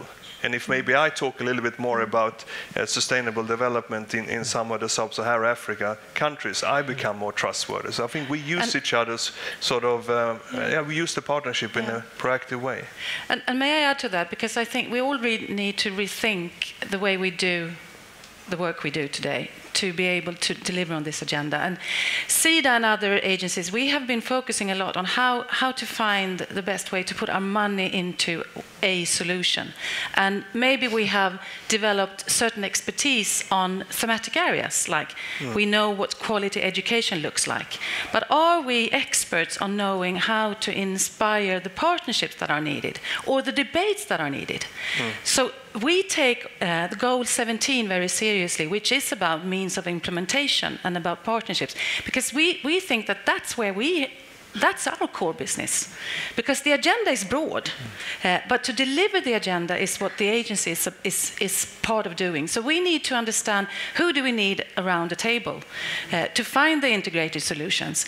And what kind of, of, of debates or discussions do we need to, to, to trigger because for instance we, we don't want private sector to start charities in, in, in Africa, we want them to pay the taxes.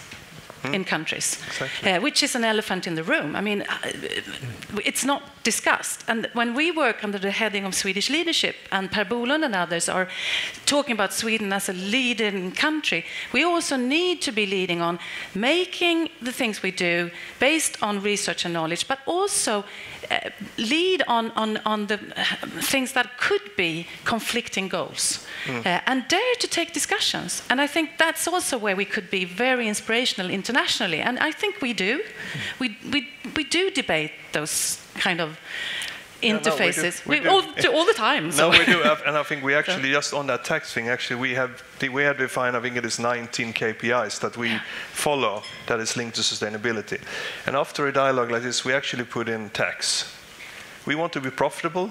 We are proud to be profitable, but we're also proud to pay tax. Yeah. And we see that actually as one of the KPIs that we should follow because. Uh, not everyone is seeing it as, as a good thing, but mm-hmm. we have to. Mm. We have to. Mm. Can I ask you, we talk, this is sort of defining the challenges. Mm. Uh, from your perspective, Charlotte, uh, i are there any sort of challenges from the point of view of Sida for, you know, actually making this happen on the ground? Uh, What, could you name a couple of them? Be candid with us. Let us know how no, we I, can I, help. I, I did. I did actually. I did. I did already by saying that we need to understand what's the relevant role for an agency in in implementing this strategy and five to ten years down the road.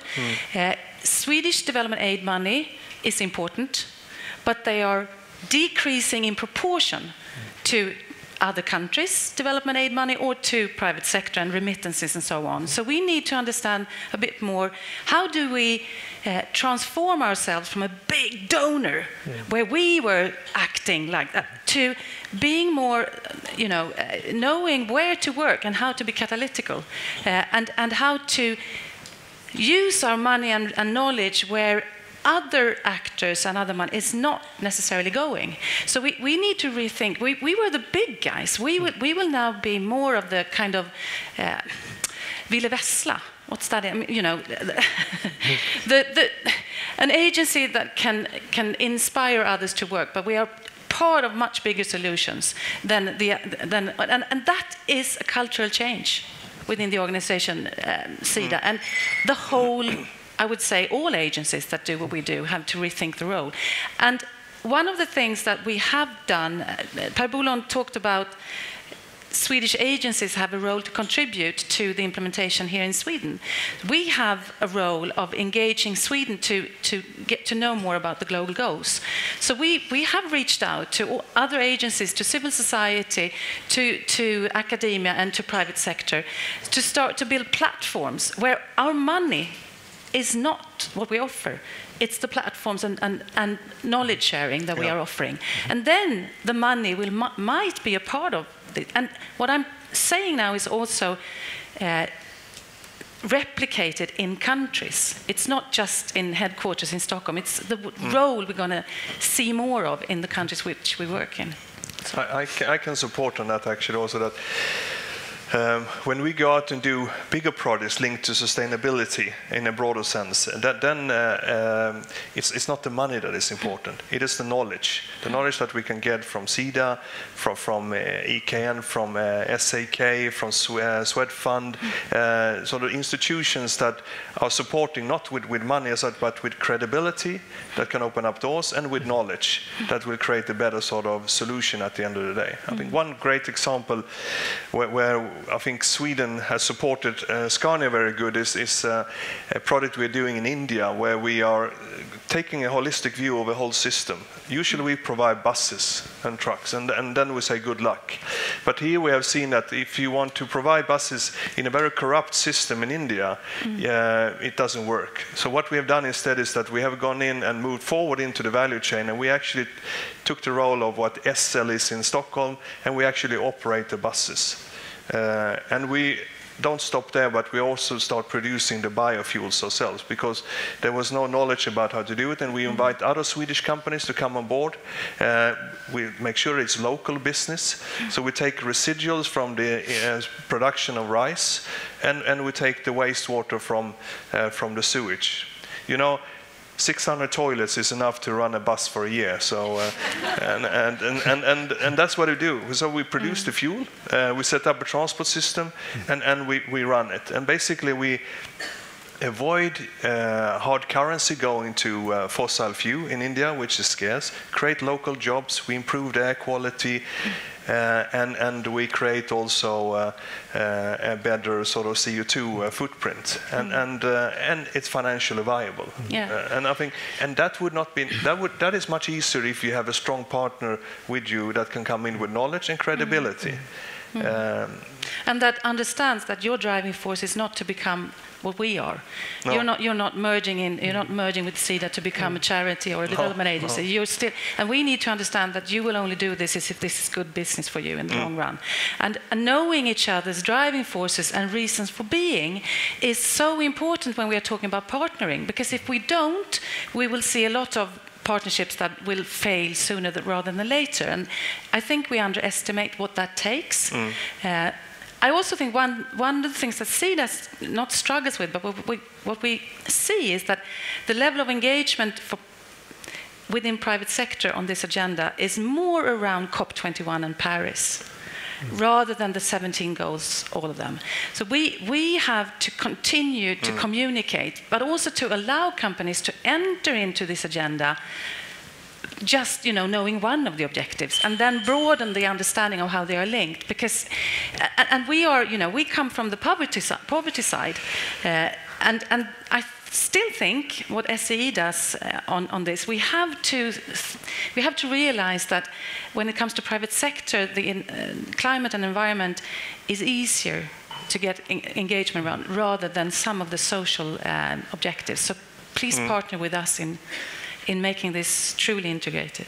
Uh, It's very interesting to hear how you're, you're talking about your role as being, first of all, focusing on the things where you can really add value and, and, and make a change, and then you're, you're there to convene and Mhm. enable a Yes. whole load of other people. So it's about leveraging a much bigger sort of Mm. both pot of money, if you like. I would press you on that a little bit. I mean, in, terms of are there ways in which the, the, the financing that Sida or the aid that Sida has could be used to sort of unlock, if you like, some much bigger amounts that- of money? I mean, are there absolutely. ways of doing that? Absolutely, I'm not going to tell you. no, but uh, Sida has two, two kind of pots of money. One is the one that you really know of, grants, gåvor.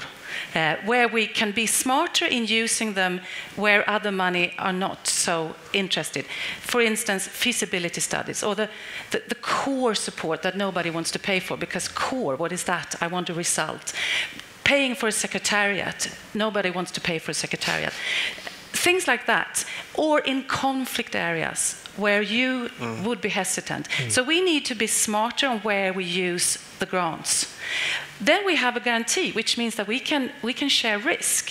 So instead of giving a grant to a woman in Palestine who want and, and is able to start her own business if she could lend money, instead of giving her a grant, we support the National Bank who are a bit, it's too risky for them to lend, but if we guarantee a first loss, uh, they are willing to lend. So instead of supporting her, we're supporting systems in country with a guarantee, which is not giving away money. It's actually a, a good business for Sweden to do that. So de-risking uh, with other actors is much more part of what we're do doing today. Uh, and that unlocks a lot of new ways of working, which is actually Sweden and SIDA is a bit not famous, but famous within the development agency area of doing. We are, there's not so many others who can do that actually. So mm. I wanted to finish off actually, uh, since I'm sure everyone is desperate for a bit for of coffee, coffee yes. and everything like that. I mean, I don't want to cut the time short. It's, it's fascinating to hear from you, but but I wanted to sort of ask you. We've got 15 years and it's a very ambitious agenda. And, and when you look at the national implementation, it's, it's also, you know, almost overwhelming, yes. actually. I, I just wondering, are there, first of all, you can answer whichever one of these you like. Are there specific priorities you think that should be addressed now? And where would you like to see, if you were looking into your crystal ball, where, where, do you, where would you like to see, either as a representative of business or indeed in your personal capacity, you know, where would you like to see us in five or seven and a half years, sort of halfway down the track? Henrik first. Yeah, I think um, the industry I represent, I mean, we, we stand for around 14 to 15 percent of the CO2 uh, in, in the world. So, so we are part of the problem. So, so uh, we, we want to be part of the solution, of course. That's why we have the agenda we have. But saying that, I would say that the partnerships, one partner in the partnership chain is, is uh, uh, the legislator. Uh, I would say, and, and I think th- that is the process. Unfortunately, takes the longest time to develop technology and convince customers and so on.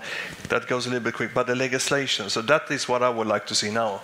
I would say long-term commitment from a political arena that is not local, but that is pan whatever, pan European or pan global, uh, so that you give the right uh, games of the rule, not only for the manufacturers, but the, but uh, but also I would say especially for the customers. They are the ones that are worried. If I buy this technology today, will it be fuel tomorrow?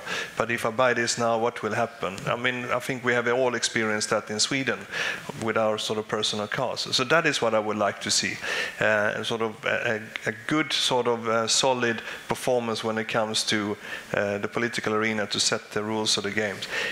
And, and, and then do not uh, dictate sort of the technology solution, sort of uh, rather sort of aim for saying what is it that you want to achieve. Then you can let, let the sort of let, rest of the society find the solution. So, so that is today the most important, I would say. Thank you, Henrik. Charlotte. I think I think it's it's it's hard. There's so much you want to say. For, uh, one of the things that I would like to see happen is that the 600 million people living in Africa without electricity, uh, that they have el- electricity, because it's the basis for so many things that we we need to see happen from from being able to to read, to deliver birth in the night time, to to make Africa industrialized. You just need that. And if we can do that based on, on sustainable solutions, I think that's very, very important. I also think that thinking through the vision for Sweden in this, because Sweden said we're going to lead uh, by, by um, understanding what it means for us in Sweden, but also internationally. And, and I think that uh, if we can say in, in, in five years that we were modeling in Sweden models that we are already known for, we are known for our gender, uh, gender issues, uh, we are known for welfare models that are badly needed. When we talk about private sector and taxes and all of that, we talk about welfare models.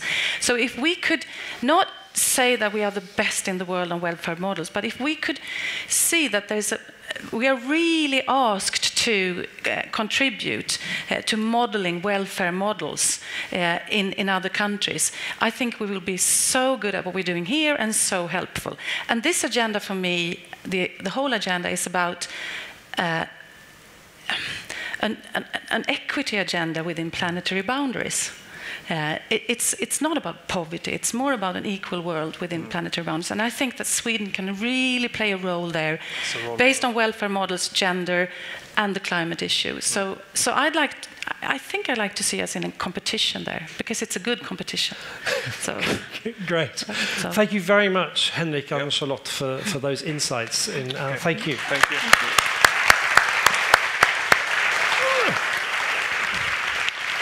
Henrik, don't run away. Thank you very much. Thank you very much. A little bit of housekeeping. Thank you. Thank you. Coffee, tea, and a muffin is available um, behind you and also upstairs. Do feel free also to take a look at, the work of our scribe, Saif Al Hassani, who's uh, been working over here. And then I know we're running a bit late, so uh, if you can be back in your seats in 20 minutes, that would be great. Thank you.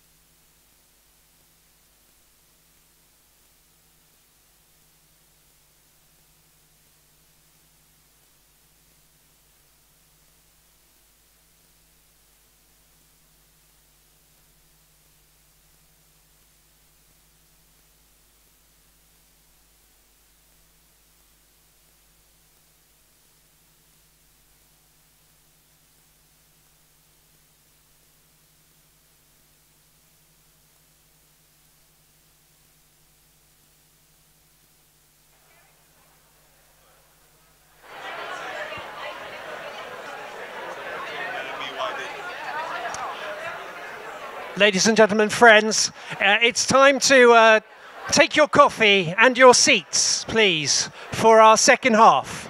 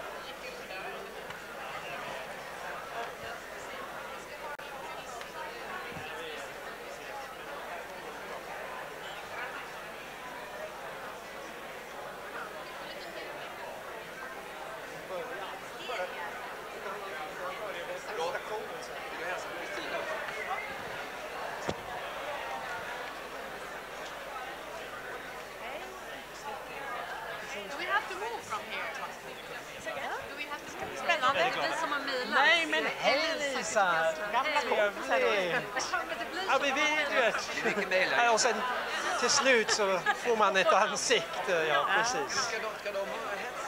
Jo, och det är min kollega Anna som har en beige uh, ja, kavaj. Nej, nej, nej, ingen brådska alls. Så hon kommer att hjälpa dig med det. Okej? Okay? Ja, jag kan ordna det.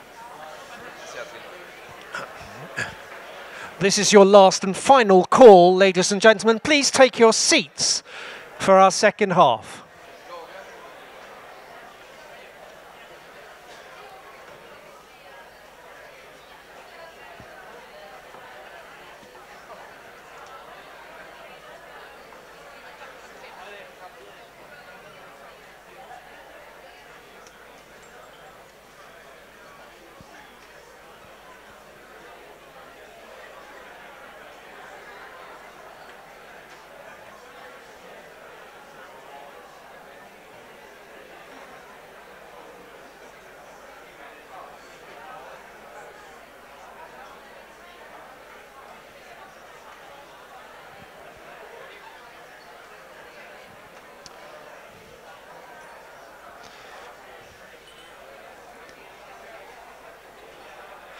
Uh, don't forget, everybody, there is the opportunity to mingle over a cocktail afterwards. So this isn't your only opportunity to talk to uh, friends, old and new.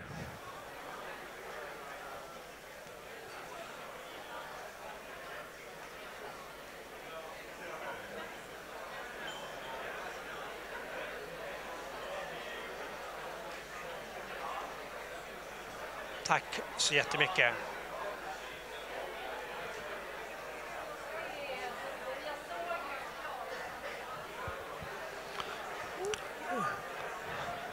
So welcome back, everybody. Um, and to take us um, into our second session and perhaps also bridge between our first hour and a half looking at interlinkages, um, I'd like to introduce you to Måns Nilsson, SEI's research director, who's going to kick us off and give us some conceptual ideas of what coherence is and how we might get there. Welcome, Måns. Thank you, Rob. Uh, indeed, uh, I am the research director of SEI, and therefore I will allow myself to become a little bit academic here for a few minutes and talk a little bit about coherence. How do you approach a topic like policy coherence, this holy grail of public administration, coherent, joined up policymaking? And to do that, I think we have to start by understanding the interactions in a more systematic way.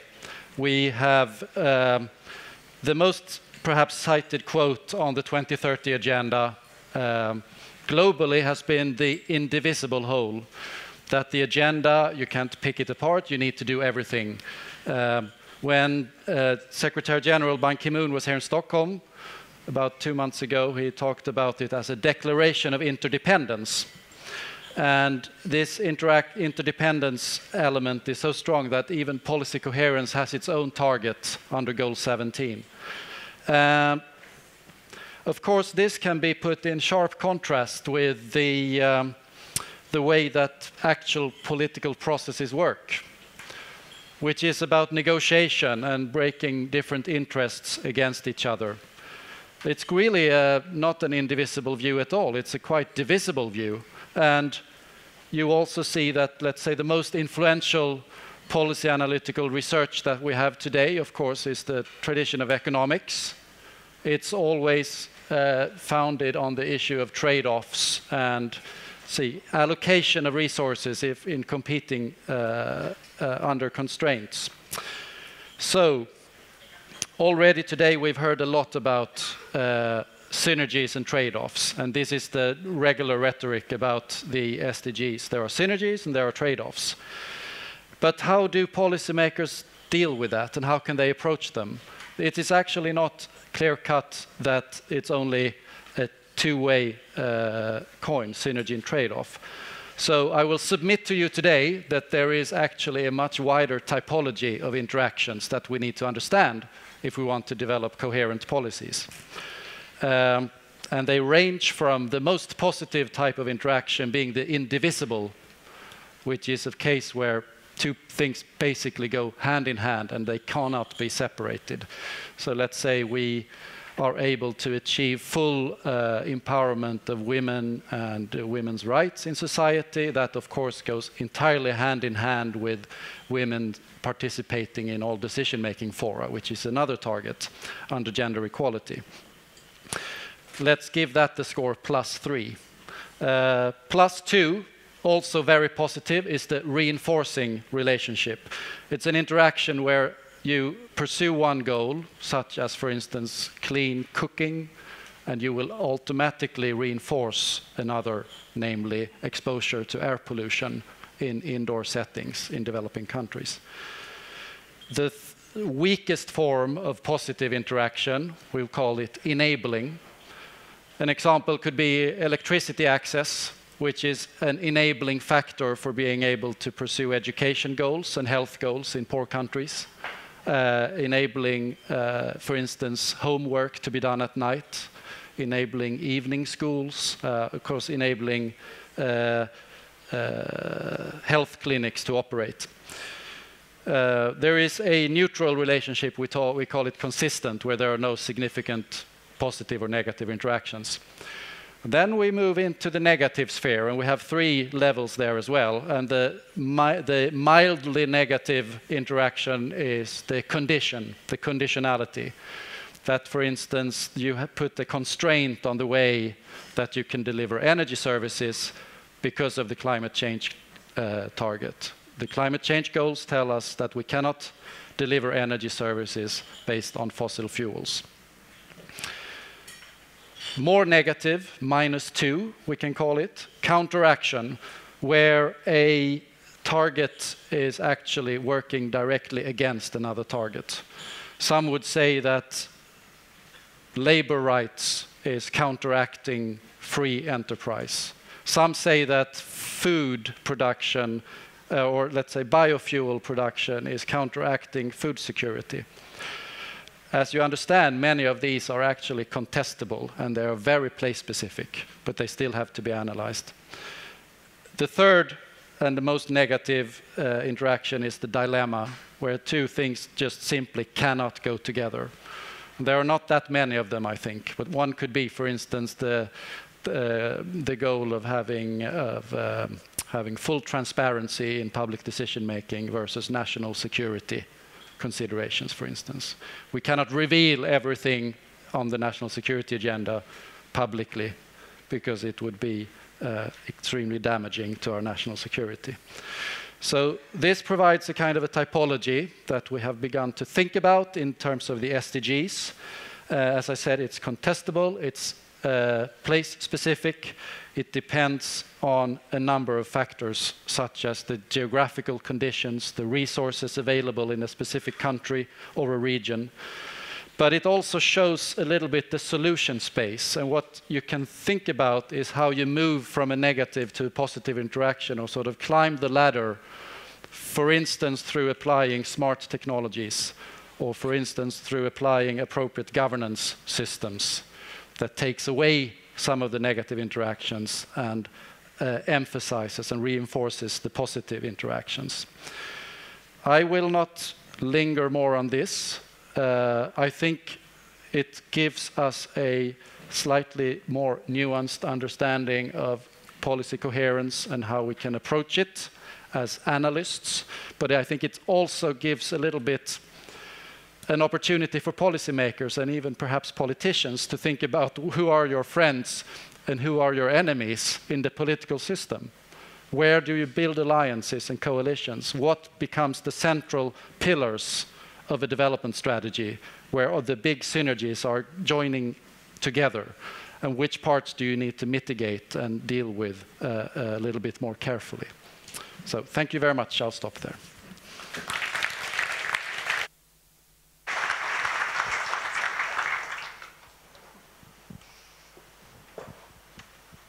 Okay, uh, thank you very much indeed, Måns. Um, that was a really interesting presentation, and I think it sets very nicely the context for the uh, next session that will follow.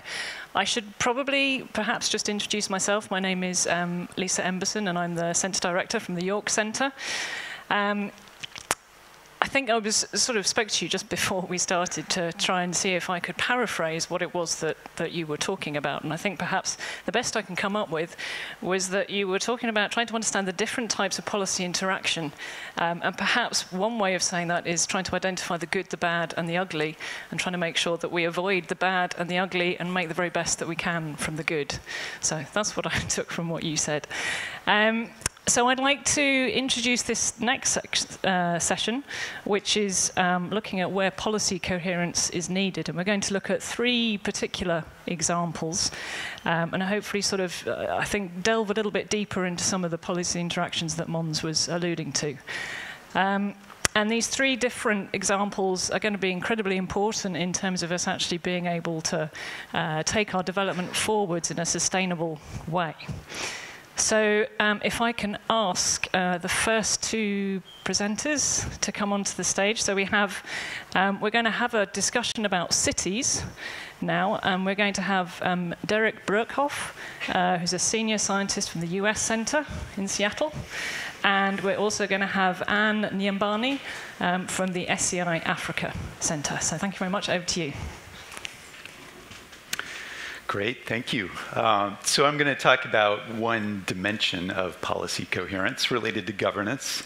Um, for a while now, uh, and I would say increasingly in the last few years, there's been a growing awareness that if we're going to tackle the global challenges of sustainable development, we need to pay a lot of attention to urban areas, to cities, about half of the world's population currently lives in cities, and that proportion is expected to grow to about two thirds by the middle of the century. So, whether you're talking about climate change, resource consumption, or human well being, cities are where uh, we really need, need to focus. So, the question is how do we engage with cities on urban sustainability? And if you talk with a lot of folks who are active in this area, uh, trying to promote sustainable development in cities, uh, you'll find there's a popular narrative, especially in the advocacy community, that cities should play a leadership role, city governments. Uh, to use a maritime analogy, they should be lighthouses, uh, showing us the way to good, effective policy, innovation, Cities have unique capacities and resources. Uh, they're more nimble than national governments. They can take up the slack when national governments have failed to act. And in, in, its more extreme formulations, you'll find uh, expressions like this, this quotation from New York's deputy mayor uh, Cities are centers of innovation. This is where climate change will be solved. Maybe we don't even need national governments. We simply need to unleash the innovative capacity of, of city governments. Uh, and it, while it's undoubtedly true uh, that uh, we need leadership from cities, uh, where they can provide it where it's needed, arguably, if we want to see uh, the transformative effects uh, that we need to see for global sustainable development, we need more than just the actions of a few leadership cities. So, an alternative way to think about the appropriate proper role of cities uh, is to continue with the maritime analogy here, to think of cities as rowers, all rowing together towards sustainable development objectives. And what this conception would mean is not so much that cities take a leadership role, but they serve critical implementation roles. They're administrators, they would be strategic partners, working together with different levels of government, with the national level, for example, to achieve urban sustainability goals. For example, um, it's great if you have some cities moving forward with aggressive uh, building energy efficiency standards. Um, but if you really want to see transformative effects, it's arguably better to have those standards enacted at national levels and have cities serve uh, the implementation and enforcement role for those standards. So this slide illustrates some of the challenge that we have before us. Uh, this shows the results of some analysis that we did a couple years ago, trying to quantify what the potential is for reducing greenhouse gas emissions in cities around the world. These are different kinds of actions that city governments could take related to buildings, related to transportation and urban form that could reduce greenhouse gas emissions. And what this shows is that half the potential is concentrated in uh, a relatively small number, about 660 large urban areas. But the other half is dispersed throughout 5,000 urban areas throughout the world, uh, smaller and medium sized cities. And the question is, how can we unlock the potential in those cities? Uh, yes, you have a lot of big cities kind of leading the charge here, but uh, we need to access uh, the, the reduction potential uh, and the sustainable development potential uh, across a range of issues in, the, in these smaller cities.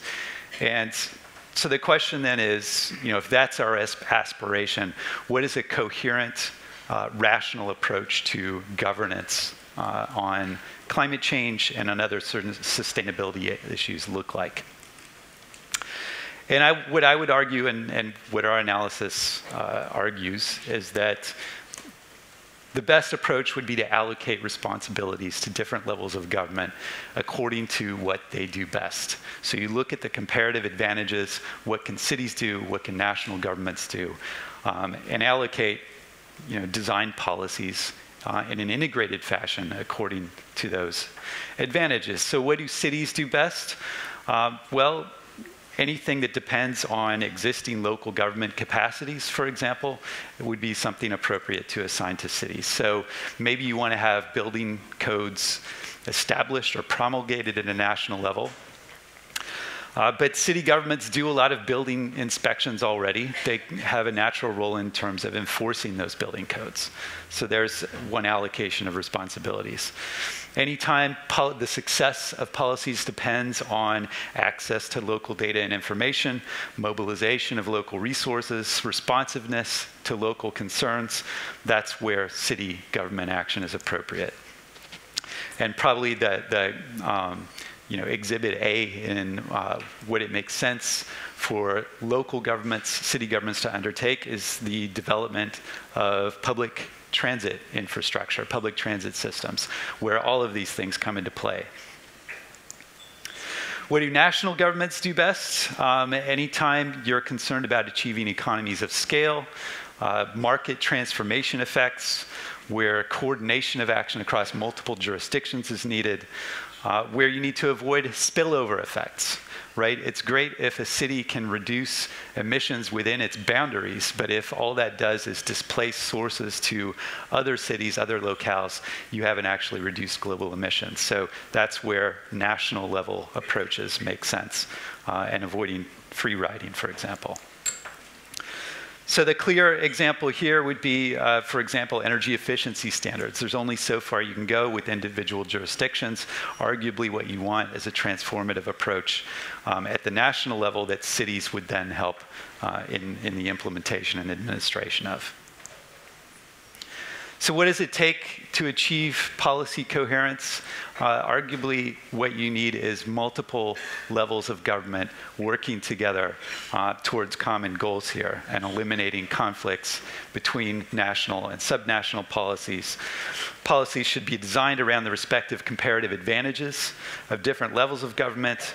Uh, and really, what we need I think, are national urban development strategies that enable city governments to act by providing financial and technical assistance and establishing frameworks that coordinate policies at multiple levels to get cities rowing together towards sustainable development. So, with that, I will turn it over to Anne, who will talk about some concrete examples of uh, coherence or incoherence, as the case may be. Okay, thank you so much, uh, Derek.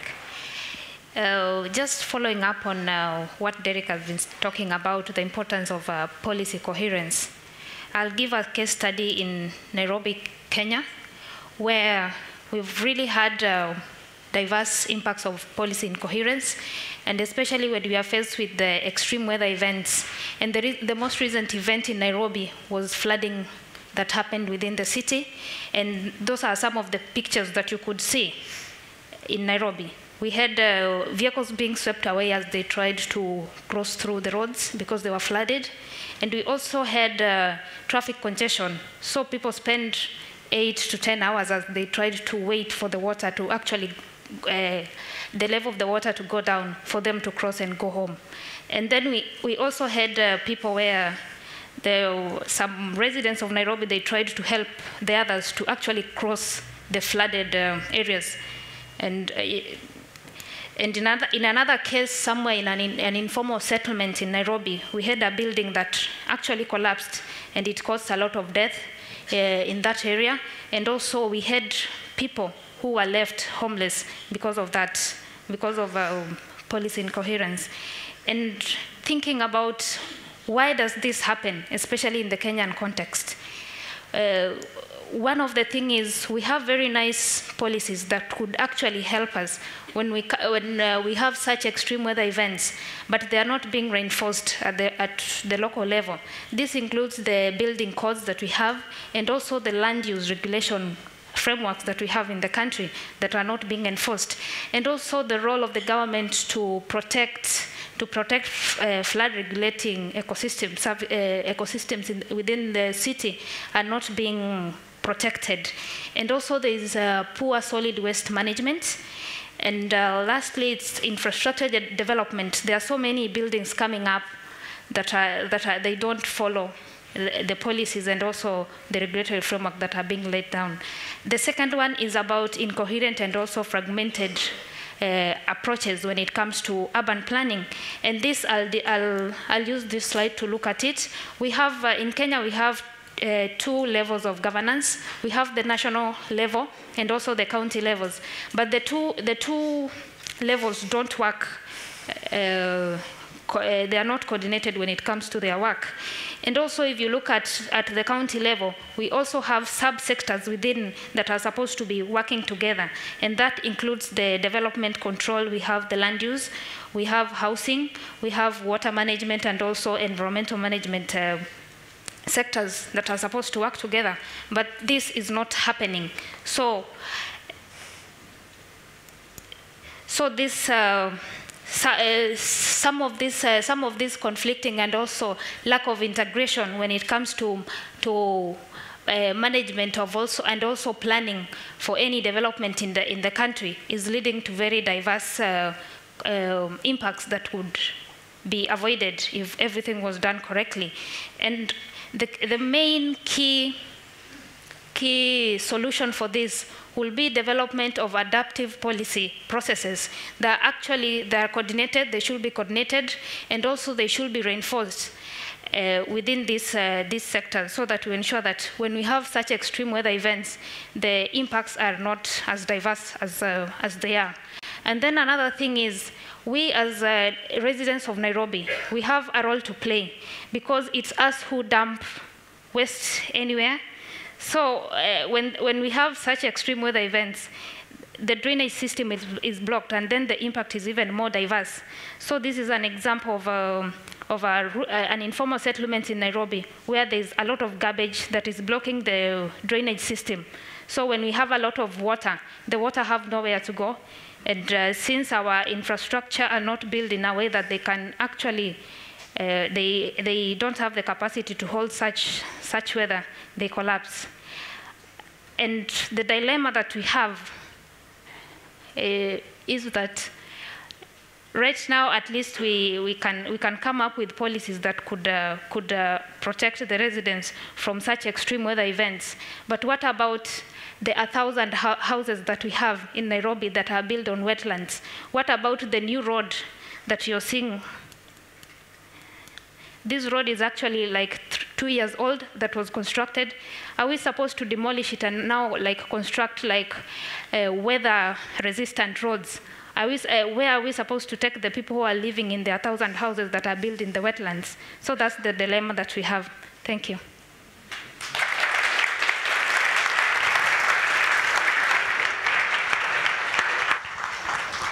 Okay, thanks uh, ever so much, um, Derek and Anne. I think you um, that was a, a, a really interesting uh, discussion that you had there. I, I think it really kind of shows that the systemic approach that Måns was talking about, if we can get that right um, in 5,000 cities around the world, then we can really make some difference. And by the looks of the situation in Nairobi at the moment, then difference does definitely need to be made. So thank you very much for that.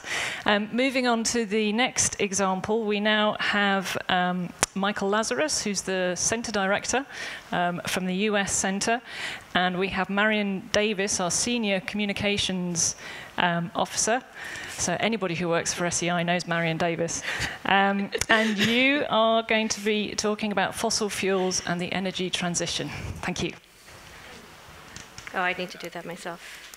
How did that hurry end up all over there? Okay. So we are going to fo- focus on a very specific set of issues, which is related to energy for development versus a safe climate. Can we achieve this, and how do we deal with the pesky problem of fossil fuels? So the SDGs are incredibly ambitious. Um, SDG number one, especially ending poverty in all its forms everywhere, is a very, very big task, especially when we consider that there are, right now, one in eight people in the world lives on less than $2 a day. So clearly, there are very big gaps to be filled. And uh, we also, for the first time ever, have an SDG on energy. We have vowed to ensure access to affordable, reliable, sustainable, and modern energy for all. And again, huge gap to fill here. We have 1.2 billion people with no access to electricity, many, many more whose access is really quite terrible. And we have 2.7 billion people who are still cooking with wood, dung, sticks, whatever they can find, and they have nothing, no other option. And then on the other hand, we have SDG number 13, take urgent access, eh, ur- urgent action to avoid, to combat climate change and its impacts. And obviously climate change affects every aspect of development outcomes, so this is very important to achieve as well. So can we achieve all three of these together? Obviously, if we have enough energy of the clean, low carbon kind, like solar. This is not a big deal. But right now, about 80% of our energy comes more from that kind of thing. That, in particular, is an oil pump. It's not as obvious as it should be. but um, oil and coal and other, you know, and natural gas are the main sources of energy for us right now. And this is not just a poor country issue. I mean, it is very much an issue for developing countries because it is these countries that have to greatly grow their energy supplies to be able to meet all their goals and to be able, you know, to not just to make people's living conditions better, but also to fuel industry, to mechanize agriculture. It, it affects every aspect of life. I know, you know, even healthcare and education are just, you cannot do this without good energy. And at the same time, also, for many of these countries, this is the wealth they have. If you have oil in the ground and you are an incredibly poor country, it's a big deal to get, you know, to get that out and start exporting it. On the other hand, in rich countries, as you know well from some of the debates that are happening right now in, about natural gas pipelines in Europe, it's, you know, energy security is a really serious concern. And you know, in the United States, where I come from, you know, the whole in energy independence theme is a really big issue and this is people are terrified that if we don't produce enough oil ourselves that somehow somebody's going to leave us with you know five kilometer long lines at the gas pump.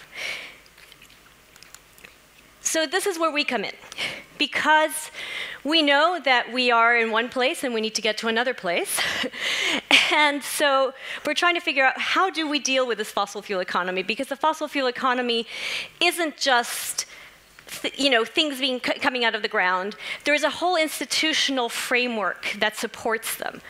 There, you know, there are policies that support them. There, there, there are agencies and governments that support them. There are major corporations.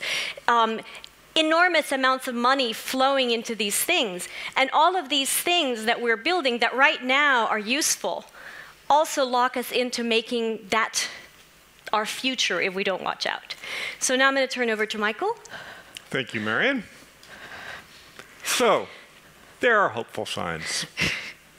Um, and I'm going to actually read a quote. I don't intend to do this, but I thought it was, you know, quite stunning that, um, you know, leaders of prominent international institutions are really taking heed of this dilemma, this incoherence. So uh, Fatih Birol, executive direct, now executive director of the International Agency, said about two-thirds of all proven reserves of oil, gas, and coal will have to be left undeveloped if the world is to achieve the goal of limiting global warming to 2 degrees Celsius. We're not even talking 1.5 in that quote. And then Angel Gurria, the executive director of the OECD, very interesting speech he, he, gave in 2013. To wean ourselves away from fossil fuels will, mean, will mean swimming against very strong tides. Governments everywhere, on behalf of their citizens, have major stakes in bringing fossil fuel to market and taking their share of the rents or profits. Carbon entanglement, a great term, will not be easily undone, and the very modest progress of climate policy over the last two decades is in part a testament to that. That's our challenge. Indeed, national policies, if you look around national policies on climate, they focus almost exclusively on reducing the demand for fossil fuels. We don't talk much about the fact, or we haven't until recently, very recently. This graph shows you that global investment in upstream oil and gas, that is, everything that brings gas and oil to markets, increased threefold in a decade and of course, we all know that these prices have plummeted recently. The IEA projects it will come back to that nearly trillion dollar level, especially when you add in coal as well.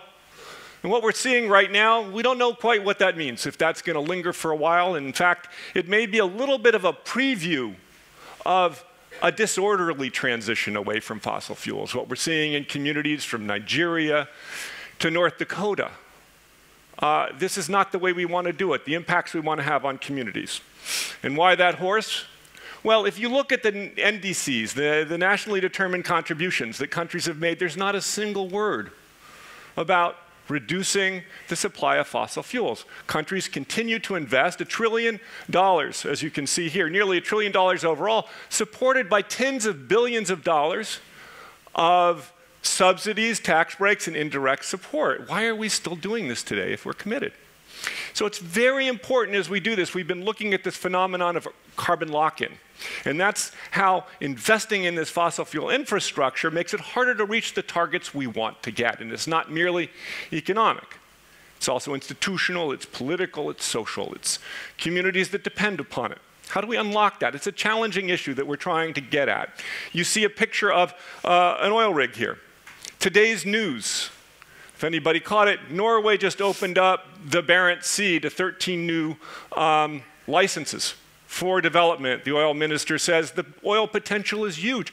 Well, it turns out when we looked at this question of lock in, the lock in is greatest with offshore oil and other unconventional oil that costs a lot in capital to invest in, but once you've got it, you can produce it 20 to $30 a barrel for 20 to 30 years.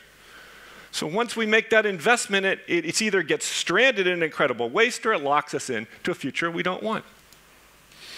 But really, if we don't do that, somebody else is going to produce it, right? This has been the argument across the world, right? We call this whack-a-mole game in the US. Knock it down here, it pops up somewhere else. Keystone XL pipeline. Who here has heard of the Keystone XL pipeline? All right, that's most of you. A pipeline that would connect um, Alberta with the Gulf of Mexico and allow about 800,000 uh, barrels per day of potentially additional production from oil sands in Canada to reach the market. So we have a movement today, and it was really quite interesting. It's one of the biggest movements we've seen around climate involving um, civil society around this idea of stopping uh, investments like this. But is it purely a, a, mobilization issue? Is there something that can be gained in terms of fossil fuel supply? We did a paper in Nature Climate Change that showed that indeed it's basic supply demand economics. And if you look at the literature, it seems to suggest that for every barrel you leave in the ground, sure, a half a barrel will come back, but a half a barrel won't. And this adds up. It can be significant. And we brought this kind of logic to looking at what is a prominent political issue now in the US and policy issue, which is what do we do about federal lands? Turns out that a quarter of US fossil fuel production is on federal lands and waters. Now, what does this chart show? The chart shows that, you know, over, you know, until this boom in oil and gas, oh, fossil fuel was relatively flat. Now we're projected, even with a clean power plan, even amidst a national determined uh, uh, commitment to reduce 26 to 28 percent, the plan, the, the, the, expectation is that fossil fuel production will increase overall 11% out to 2040. But if you look at this from a two degree and not even a 1.5%, 1.5 degree perspective, this needs to go down by half. There's an in incoherence here that we need to deal with. Is it perhaps ceasing to lease these lands? We looked at the impact of that, and those are those, those slices of the slice of yellow and blue at the top. That's what would potentially not be produced if we didn't continue to lease these lands, but maybe there are other policy mechanisms. We need to think about non-federal production as well. So is it worth acting on the supply side? Because we've been focusing on the demand side. Well, it turns out that now folks from around the world are doing things or thinking about supply side interventions. And that's what we've been looking at. Can they be effective? Can they contribute? So the President Tong of Kiribati uh, announced the idea of a moratorium on new coal mines around the world. And it turned out soon thereafter, because of other reasons, oversupply in the market and other issues, or a review going on in the US of our federal coal leasing program, there are these moratoria in the US and China on new coal mines. And there are these strange bedfellows with this policy. It turns out that some incumbent producers kind of like the idea, reduces production. So, are there ways to, to leverage that or to think about that? What's the right way to transition? So, we're also looking at this question in emerging economies and coal producing and exporting economies that are dependent on this market because if we're serious about this transition and the demand dries up for coal, outside the country? What does it mean for communities in Colombia, in Indonesia, and elsewhere that are dependent upon that? How can we make this, help make this a just and orderly transition? So we're looking at those issues. I mean, I, here's the headline, uh, well, an article in today's Financial Times, a fix for a one-trick economy. Well, that's Saudi Arabia. Now, Saudi Arabia has the resources. It could sell off 5% of Saudi Aramco and help to finance a transition. But what about other countries? And at the heart of this lies an equity issue. An equity issue, again, an incoherence related back to SDG 10, reducing inequalities. Uh, an equity issue that we really haven't begun talking about seriously. Who gets to, as Marion pointed out at the very beginning, produce the fossil fuels that remain? Because some of us have used up that space. And this is potentially an opportunity to develop if done well. So, who has the most to lose? And we did a little analysis, let we get to the short of it, is that it turns out that what's on the margin between a two degree world and, and business as usual, a lot of that profit, all that extra money that could be plowed into communities, is in places like Latin America, South and uh, Sub Saharan Africa, who haven't had the chance to develop their resources. Do we make room? Do we compensate them? So, these are the kind of questions we're trying to investigate. So we're having the first ever, we're convening the first ever international conference on these issues, fossil fuel supply and climate change policy, this September in Oxford.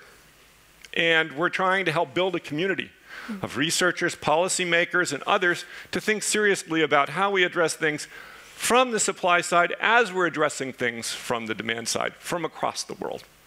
So, thank you so much.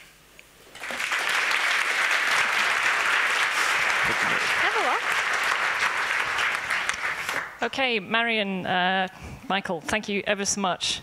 Um, so I think that really, Marion, you really showed that the urgent need that there is to um, be transforming our energy um, use and supply. Um, I quite like the, the, the, idea of carbon entanglement and the fact that what we really need to do is be developing coherent policies both on the supply and the demand side that will hopefully move us away from that entanglement, which is not putting us in a very good position at the moment. Okay, and then the final um, example that we're going to have is um, talking about finance, financing sustainable development. And for this, if I can welcome onto the stage um, Aaron Atteridge, um, from the SEI Stockholm Centre, and also Albert Salamanca from SEI Asia. Thank you very much. Thanks, Lisa. So we'll round out this session on the good, the bad, and the ugly with the good being Albert and I are going to highlight some of the bad and the ugly for you. So we're, what we're going to do is talk about particular areas of incoherence in the way that finance connects to these common goals we've been discussing about sustainable development or climate change. I'll begin at the macro level, and Albert will then take us down to ground level and look at it from the perspective of developing countries. So we went, we're going to do this with about 10 uh, points of incoherence in finance as, as a, something for you to think about. The first one's probably obvious to most of you. There's analysis that, that shows that the emission pledges, or, the kind of uh, mitigation pledges we've had so far, will maybe get us to around a three degree world. Uh, and then the flip side of that is the adaptation finance that we have on the table so far, maybe get us to about, adapt to about one and a half degrees. Uh, and these are both in UNEP emissions gaps and adaptation gap reports. Um, so the cost of adaptation compared to the amount of finance we have available, there's a big gap. And this, this creates a, a really big problem for us. It's sort of a, an incomplete equation because mitigation ambition plus adaptation finance is supposed to add up to safety for us. The second one, I was pleased to hear Charlotte talk about Sida rethinking the delivery of, of development aid and development finance. Uh, and the second point of incoherence for us uh, we see is really between the needs of developing countries or their priorities and the way that finance is being delivered uh, either climate finance or development finance. Um, at, at, present, we have a situation where, for various reasons, climate finance is being delivered separately from development finance. And this is having a distorting effect on the kinds of investments that it's being used for. So countries are being, and countries and donors, in fact, are being sort of encouraged to invest in things that look like climate change, flood prevention or irrigation, perhaps. But that may be not what developing countries most prioritize in terms of uh, uh setting themselves up for a long-term future where climate change is one important uh, uncertainty, which might be investments in health or education, for instance. You also have in this very complex architecture, global architecture of financial flows, uh, the problem of as you can see, I mean, it's virtually impossible for, at the bottom of that, that, that, chart, for a developing country government to align finance properly with its, with its real sustainable development priorities. Um, and also, it's, it's, increasingly projectized, project, this, this kind of projectization of finance, meaning it comes in small, short-term parcels, and that's very difficult to connect to, to long-term transformation agendas. Uh, what might an alternative model look like? Well, I mean, we could, we could spend days trying to think about that. And one thing, if you can integrate climate change and disaster risk planning and SDGs international development planning, uh, maybe then you can sort of align finance better through the national development planning process. But there's no one perfect model.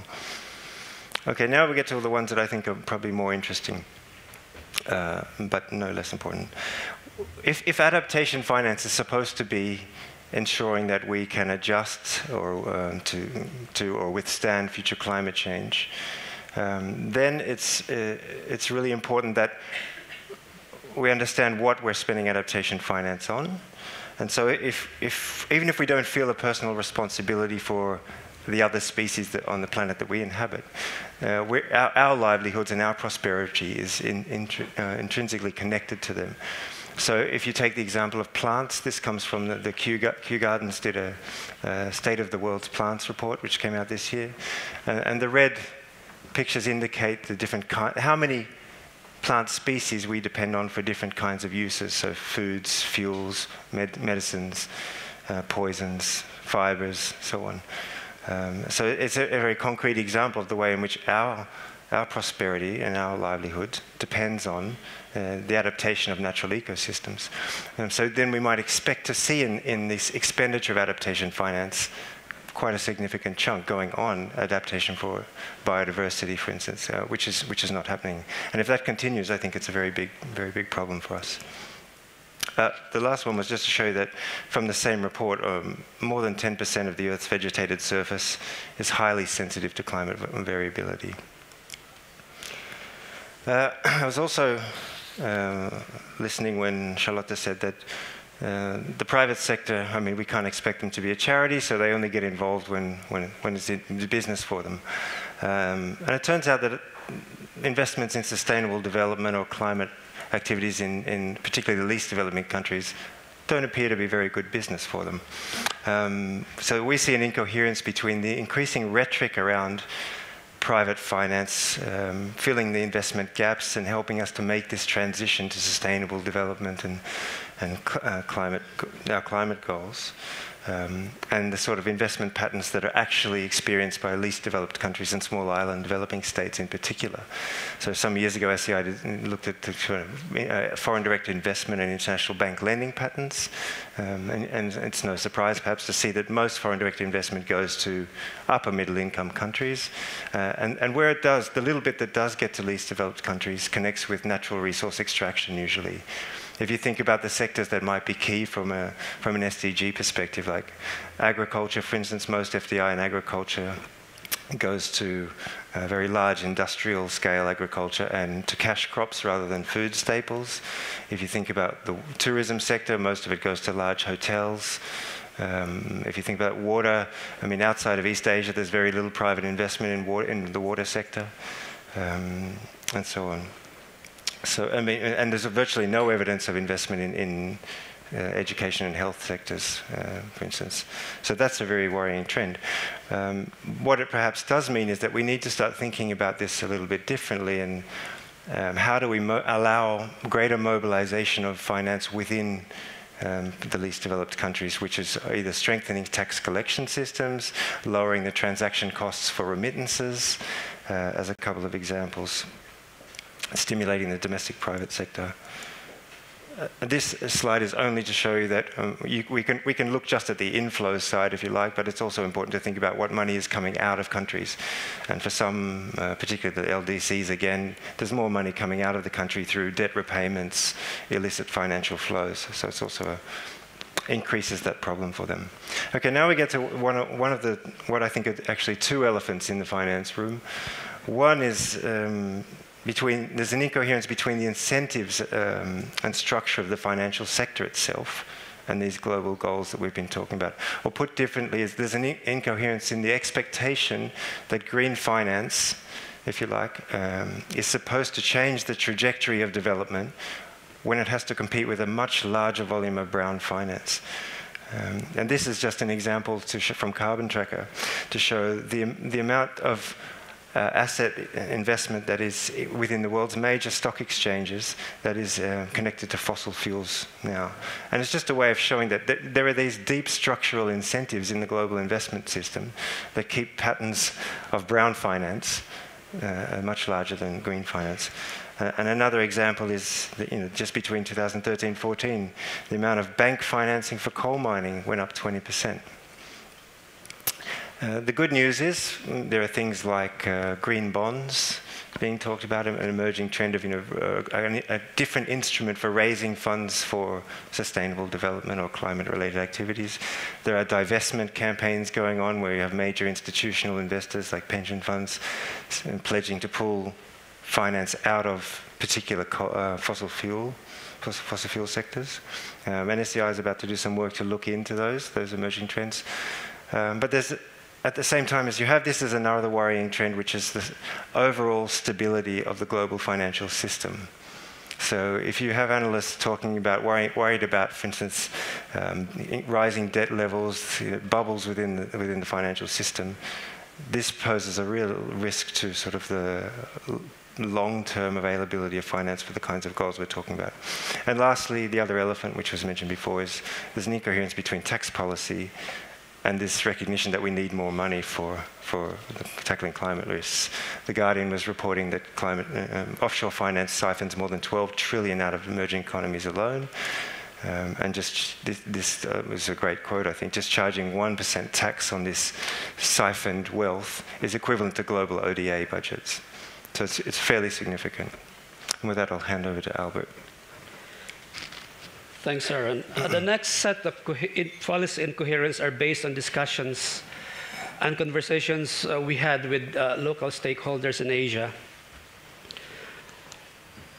The first set of incoherence is between urgency and responsibility. We understand that the threat of climate change is urgent, but the funds available to help countries in the region to adjust to the impacts of climate change are not really that easy to access. They need to demonstrate what they call as fiduciary responsibility. So in Asia right now, the only national implementing entity for the Adaptation Fund is the National Bank for Agriculture and Rural Development of India. The Indonesia Climate Change Trust Fund tried to apply, they failed because they couldn't demonstrate fiduciary responsibility. Among the things that's being required, for example, they have to have whistleblower policies. They need to have gender policies. Among other, other policies that are required by the funds to be able to be accredited as a national implementing entity. So again, the threat is urgent, but the funds are not really easily accessible.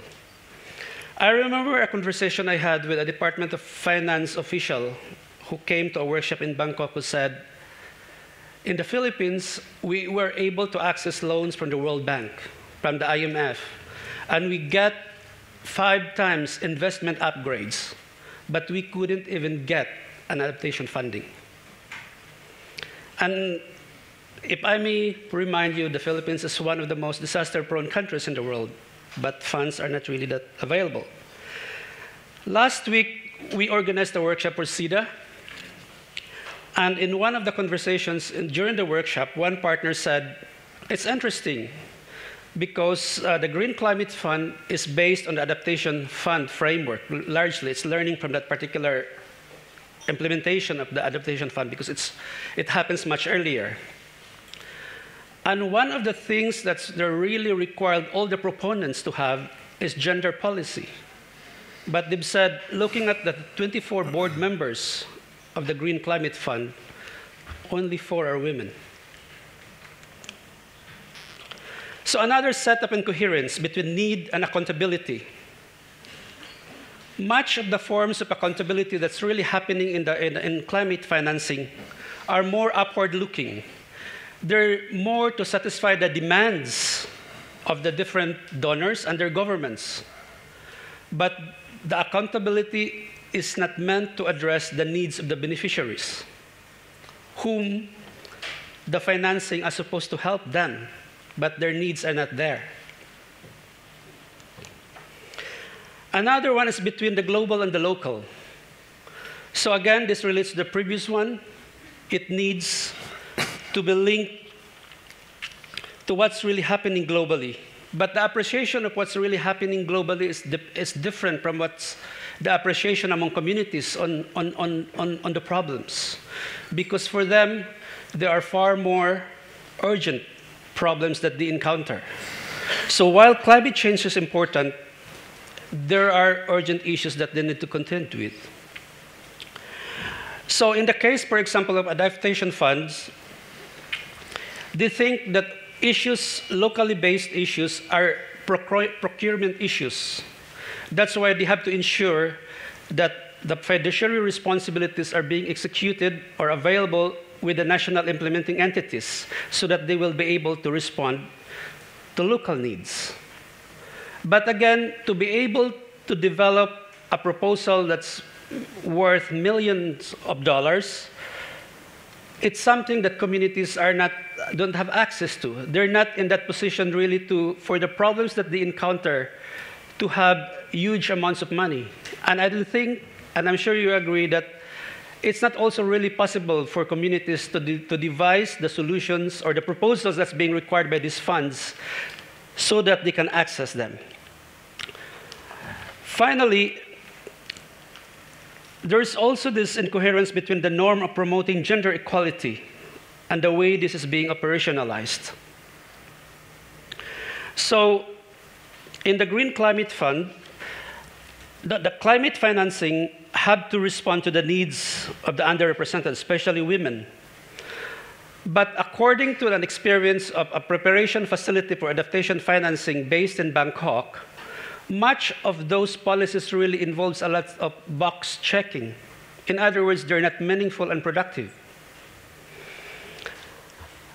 So, this year and in the coming years, SEI Asia and my colleagues, through the Climate Finance Initiative, will develop tools and approaches on how we can bring in meaningful engagement with gender in climate finance. And just to tell you a bit about this picture, this is a picture taken in, in a floating village in Cambodia. So notice the woman registering the business of the day while the men are playing cards. Thank you.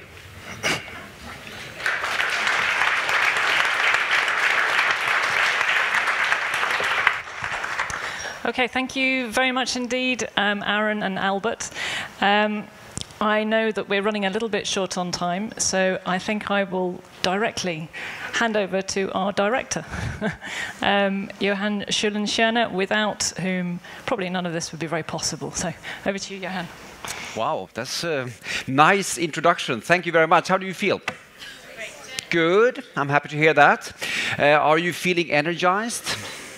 How many feel now that after this, these presentations you are more optimistic about the fact that we will achieve the SDGs than you were at 1.30? Okay, how many feel more pessimistic? And a lot of people don't feel anything at all. That's okay.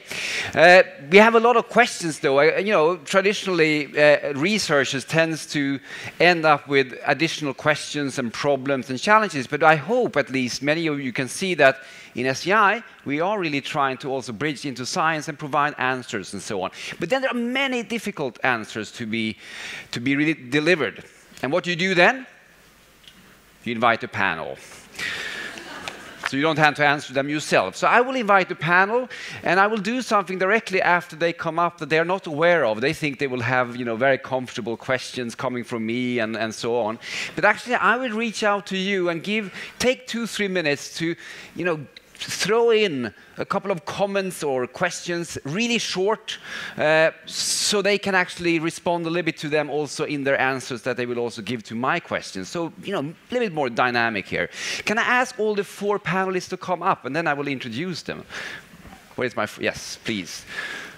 Can you hang around one table or do you need two tables or how do you feel? Is it too tight? We should have a round table. A round table. Well, stand around here so you can, yeah, exactly. So, uh, I'm very pleased to introduce uh, First of all, Minister Kristina Persson. Hello. She's the Minister for Strategic Development and Nordic Cooperation, a very interesting mm -hmm. portfolio. You will get an applause in a second, but I think I introduce all four first. We have Eva Blixt, uh, Research Director at the Swedish Conf uh, Confederation of Steel Industries, uh, Jernkontoret. Yes. We have Mattias Goldmann. Uh, he's the CEO of Fores, which is an independent uh, think tank. And actually this year, or actually last year, or is it this, this year? year? It's this year actually, but it's probably for things you did last year. Oh, who cares?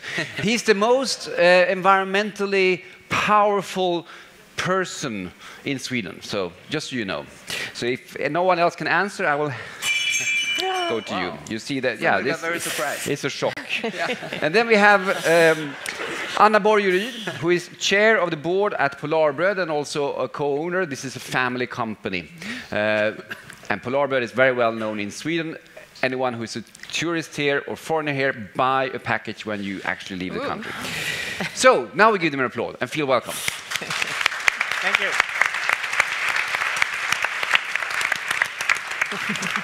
so this is sort of academia, think tank, science, policy, and action in terms of the private sector. So we have a very, very competent panel. No one is playing card, not even you, uh, Mattias, on this one. Let me check now very quickly. Any any reactions from the, this afternoon? Can you, you know, anyone? Yes, please. So we have a microphone. Quickly who you are, and then a quick reaction. Uh, hello, I'm uh, Annette Anderson. I work at ACB. Uh, I have a question for you, Kristina. Uh, France are putting in some severe environmental laws, actually, regarding uh, food waste and emissions. Uh, what do the Swedish government think about these things? Okay. That's good. It will come back. You keep it in mind, and then you can integrate it in your answer. That's to keep you awake. Anyone else? Only the banking sector had questions. We have one here also. Okay, Thank you. I'm Fabian Widman, UN Habitat. I have a question uh, directly to the minister.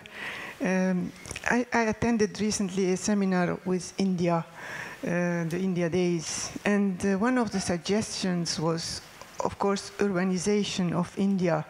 When do Sweden, when, when is Sweden going to make a package for urbanization through its development aid with the help of the researchers at SEI and make these solutions profitable for both Sweden, the environment, and all of us? Thank you.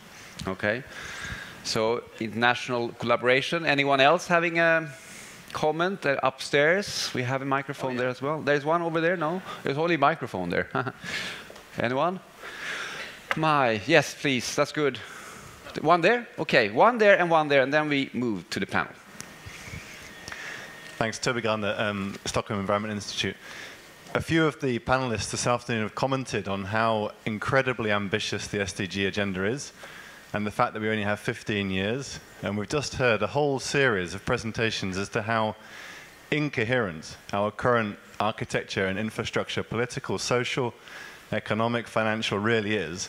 And it would be great to hear from the whole panel their candid appraisal as to whether they really feel optimistic that we can overcome the, the disconnect between the ambition and the capacity that we have at the moment. Exactly. So actually, I really expect the panel to have solved all this in half an hour. That's the critical question. Then we take the final one here, please. So these are inputs. Don't feel that you immediately have to respond to them, but integrate answers, please. Uh, Lennart Båge, Global Utmaning. Uh, I heard Per Bolund make a very passionate presentation and plea for the work in Sweden uh, by the government and by the delegation for the Agenda 2030. What will you, and I'm not looking at the minister because she's been part of preparing this, but I'm looking at the think tank and the private sector and uh, and Jernkontoret. What will you do to be part of Sweden's combined effort to walk the walk, as he said, to implement Agenda 2030 in Sweden? Good, excellent. Thank you very much. Now you know a little bit about the thinking going on in the room uh, after this afternoon and, and questions that are really easy to answer. So I'm, I'm not worried at all. Kristina, if I can move to you, and, and a very open question. We have heard about the ambitions uh, from Per Bolund earlier today. You are also, and he also said that you are one of the key ministers in this uh, in this work. Also looking at more the long term, of course, you know, strategic development. Uh, what, from your perspective, looking at your issues, are key actions to take in order to move the SDGs into action in Sweden? In Sweden and in and international and in the whole world, there is only one thing that is of absolutely key importance, and that is the right governance. That you have a governance that build the institutions, decide the laws, introduce the tax systems, and stop the uh, subsidies to the fossil industries and introduce the CO2 taxes. And you do all the right things to get the right incentives and right institutions so that we can succeed with the green transformation. Mm. And at the same time, of course, modernize our industries and create employment and create uh, sustainable welfare cities at the same time, because if not, if we don't manage this challenge, we will never manage to keep our societies healthy and economically sustainable either. Mm. It, everything goes together. It is integrated, and the agenda is transformative. And it, we, we really must get governance right in the world. Uh, if you look at Sweden, then, I mean, the, the responsibility of the government, uh, if you say from zero to 100%, how far has Sweden come in that transformation? Well, the Swedish government has a very ambitious agenda. We have the goals, the goal of becoming one of the first fossil-free welfare uh, countries in the world. And uh, we have the uh, goal to uh, also, within 20 years, have a 100% fossil-free energy system. Electricity shall be produced by only fossil-free methods and nuclear-free. So it's, it's, uh, it's, uh, it's uh, renewable energy, mm. 100%. And uh, we also have seven parties behind the goal so to uh, um, achieve in 2045 uh, carbon neutrality. Mm. So that's the whole party system, you could say, is behind that goal. But of course, lots remains to be done. I mean, the transport system, consumption-wise, we are not achieving very well. I mean, we are from the production side, we are doing com in comparison mm. with other countries quite well. But from the consumption side, we are one of the uh, the criminals in the world. We are on number 10 in the world in uh, carbon dioxide emissions coming from Swedish consumption mm -hmm. in the world. And what I mean, I, just saying, I mean, because uh, quite often I hear also internationally, if you know, if Sweden can't do this, who can, and all this. Yeah, well, I agree. So, but what is uh, what are the main obstacles then in Sweden? Why don't you just, uh, just like some companies are saying, just do it? Well, it's governance again. I mean, we need to get system of working within government mm. that really has this long-term holistic view and, and, and have this cross-sectorial approach and mm. focus in our decision making. And we must do it much quicker. Yeah. We know it and we try, but, but it's rather it's a system that is rather slow in, in changing. And um, we are organized according to a vertical principle. But we are talking about the necessity of having horizontal mm. processes mm. and moving fast. And um, well, uh, this is, I, am happy for the agenda because the Agenda 2030 gives us this platform uh, and legitimacy to push for these changes in Sweden and also in the world at large. So it gives us a reason to interact with the world around us, to exchange uh, experiences and views, and to help others and get help from others. Hmm. So I am very hopeful that the agenda will play an important and very uh, constructive role in this uh, challenge. Mm. And just very, very quickly on the question from our uh, colleague from the SCB, do we need tougher laws? Uh, what, you know, what kind of uh, key actions do we need to take in Sweden? Is this, is this the way forward as they do in France? Well, yeah, we, we need the right rules and legislations mm. so that, for instance, the transport system will transform uh, rapidly enough. And uh, we need to adjust, of course, uh, together with the rest of the world, mm. uh, how the, the, the uh, tax system is constructed. We need to have a, changes with how the, the tax system will support the green transformation and also uh, a more um, employment-friendly uh, economy. Hmm. So there's a lot of systemic changes that need to take place. That's great. And maybe come back a little bit later, but, but you're working across the entire government. It would be interesting yeah. to get your insights uh, if you have ministries who are more or less working with or against you. But we can come back to that a little bit later. I don't know how much you want to share with us on this, um, but anyway. Um, Eva Blixt, um, talking about transformative changes and also, you know, in terms of uh, what are you going to do about it? You are coming from uh, an industry in Sweden which uh, not always have been seen as being at you know, a front runner. We've had a uh, pleasure to work together with you over the last almost two years, more or less. And, and now you have suddenly, you know, an industry which is really trying to move very, very fast in a way. What, what was the trigger for that? How did you get, how did you manage, Eva? How did we manage? Well, we, is it working? It's working, okay. Yes. Uh, I think we get tired of being the, the bad, the ugly, and the elephant in the room. Because the thing in the industry, the steel industry is not known for saying yes. The steel industry is known of saying no. We don't want that. We don't want this. We don't. So we thought instead of being a, a no sayer, start to say what do we want and what do we need from the society? What do we need from the government to make this happen? The, we didn't have the Sustainable Development Goal at that time, but 2013 we did a vision for us called Steel Shapes a Better Future and steel is really necessary for the society. You don't know how much steel we are using every year. It's 1.5 billion tons of steel every year today. And that is before all the SDGs is fulfilled. If we take the people out of poverty, we will need more steel. Or if we use Swedish steel, we will need less because it's much more efficient. But that's uh, for the commercial. Uh. So, but anyway, we started to, to, to two years five years ago actually to think we have to tell what we want to do and we have to try to attract people to help us to do what we want. And that's why this, this actually is for 2050. So steel shapes a better future mm. to 2050.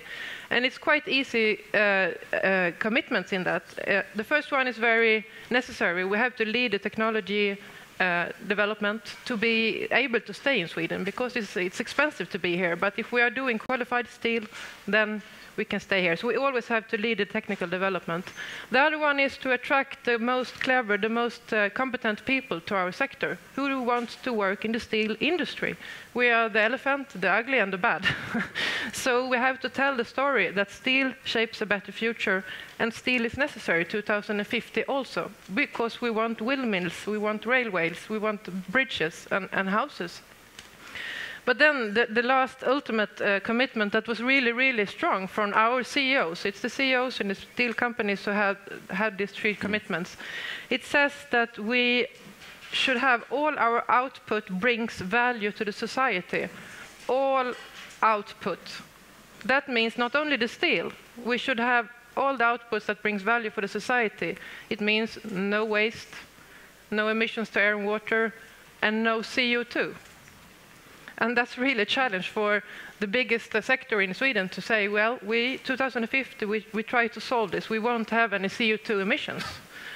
And, this project and this vision and the project we have together with you have started this um, actually taking actions mm. on this, and maybe I should come back to that later. Maybe come back a little bit. I mean, what, what is interesting? I mean, we have talked a lot about consumption pattern. I mean, these kind of things. We haven't talked so much about behavioral change actually, and here you are talking about the complete sector who changed their behavior to a certain extent. H how did you get? I mean, I met these uh, steel CEOs. They are, you know, they're a bunch of guys, uh, really.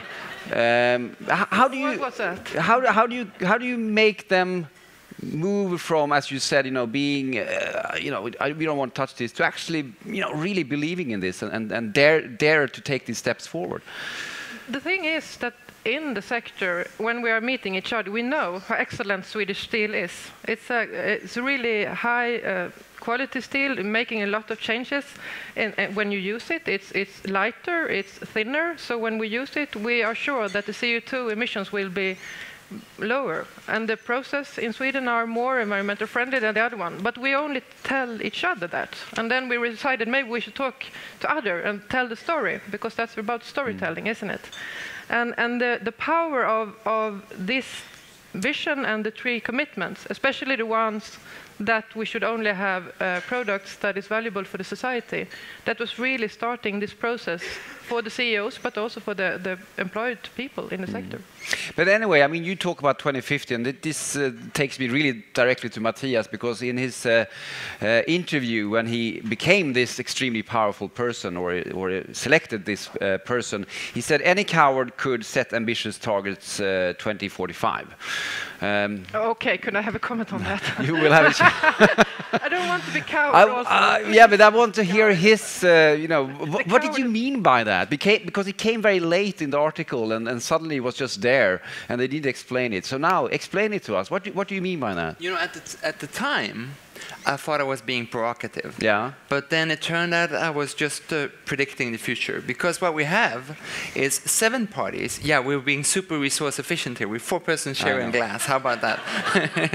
but because then we had seven parties saying 2045 Sweden is going to be fossil independent.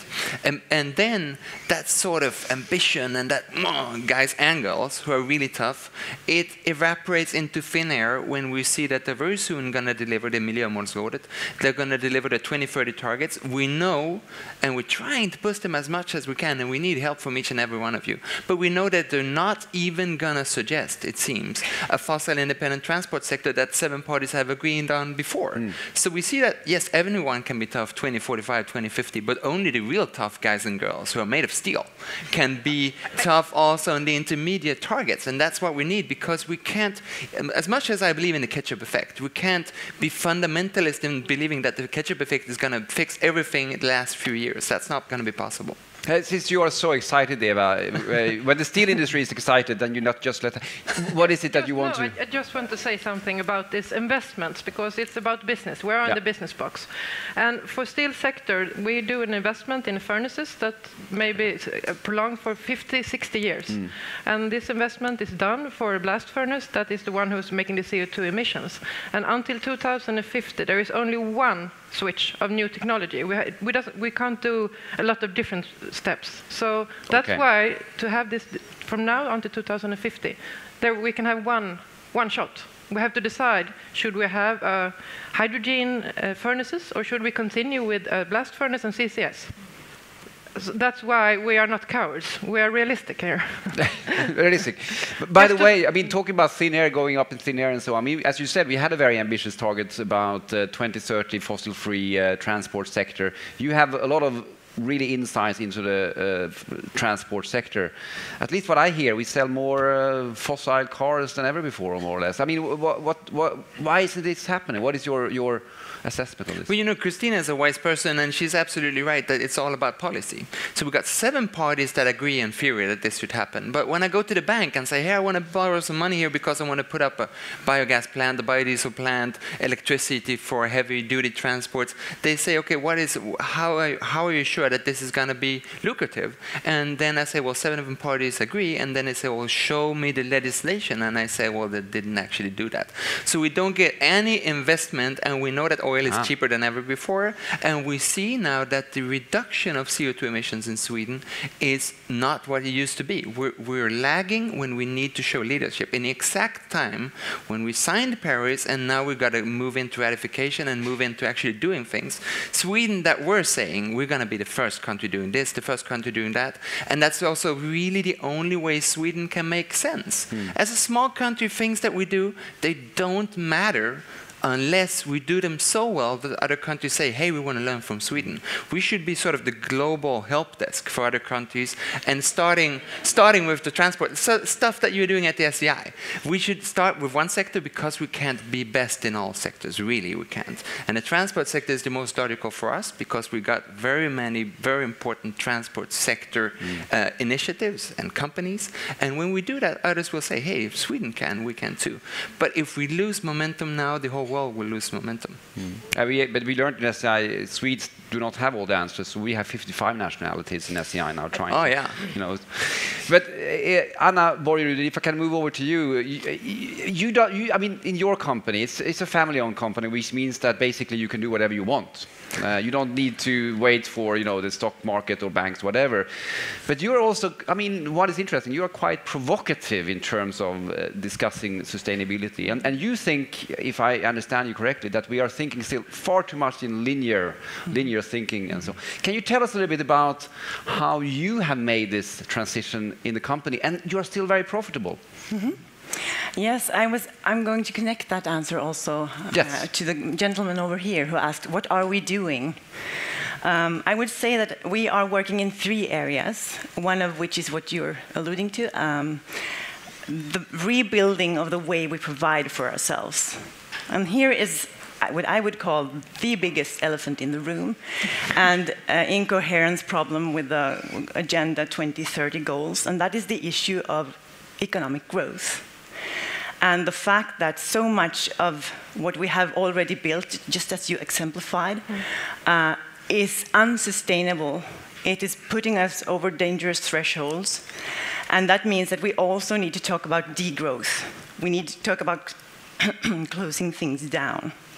And uh, three areas uh, we're working with in terms of the first, is, as I told you, rebuild the way we provide for ourselves. We, um, being part of the fifth generation at the helm of uh, Sweden's third largest bakery, we were lucky to inherit um, electricity driven uh, factory, so it's three bakeries, and we uh, could decide to invest 150 plus million kronor in building four wind turbines, which now provide as much electricity to the the Swedish uh, electricity net as we need for the bakeries. So that was one of the four goals that we have put for 2022, Mattias. I'm not calling you a coward. Well, thanks. Uh, and we check on that. Renewable energy, uh, we reached the finishing line in February last year. Now we have three more areas to go. Uh, uh, transportation, which we, we want to be renewably powered. Uh, we have uh, uh, plastics, you know, the bags we put our bread in, which is fossil-based, obviously. Plastic is. And thirdly, the biggest problem for entire, the entire civilization, which is the food supply, agriculture. Even though bread is among the best things you can eat in terms of climate and, and environment, we found that we, our biggest impact is in the, in the, uh, res- the you know, from the wheat and things that we use for, to make the bread.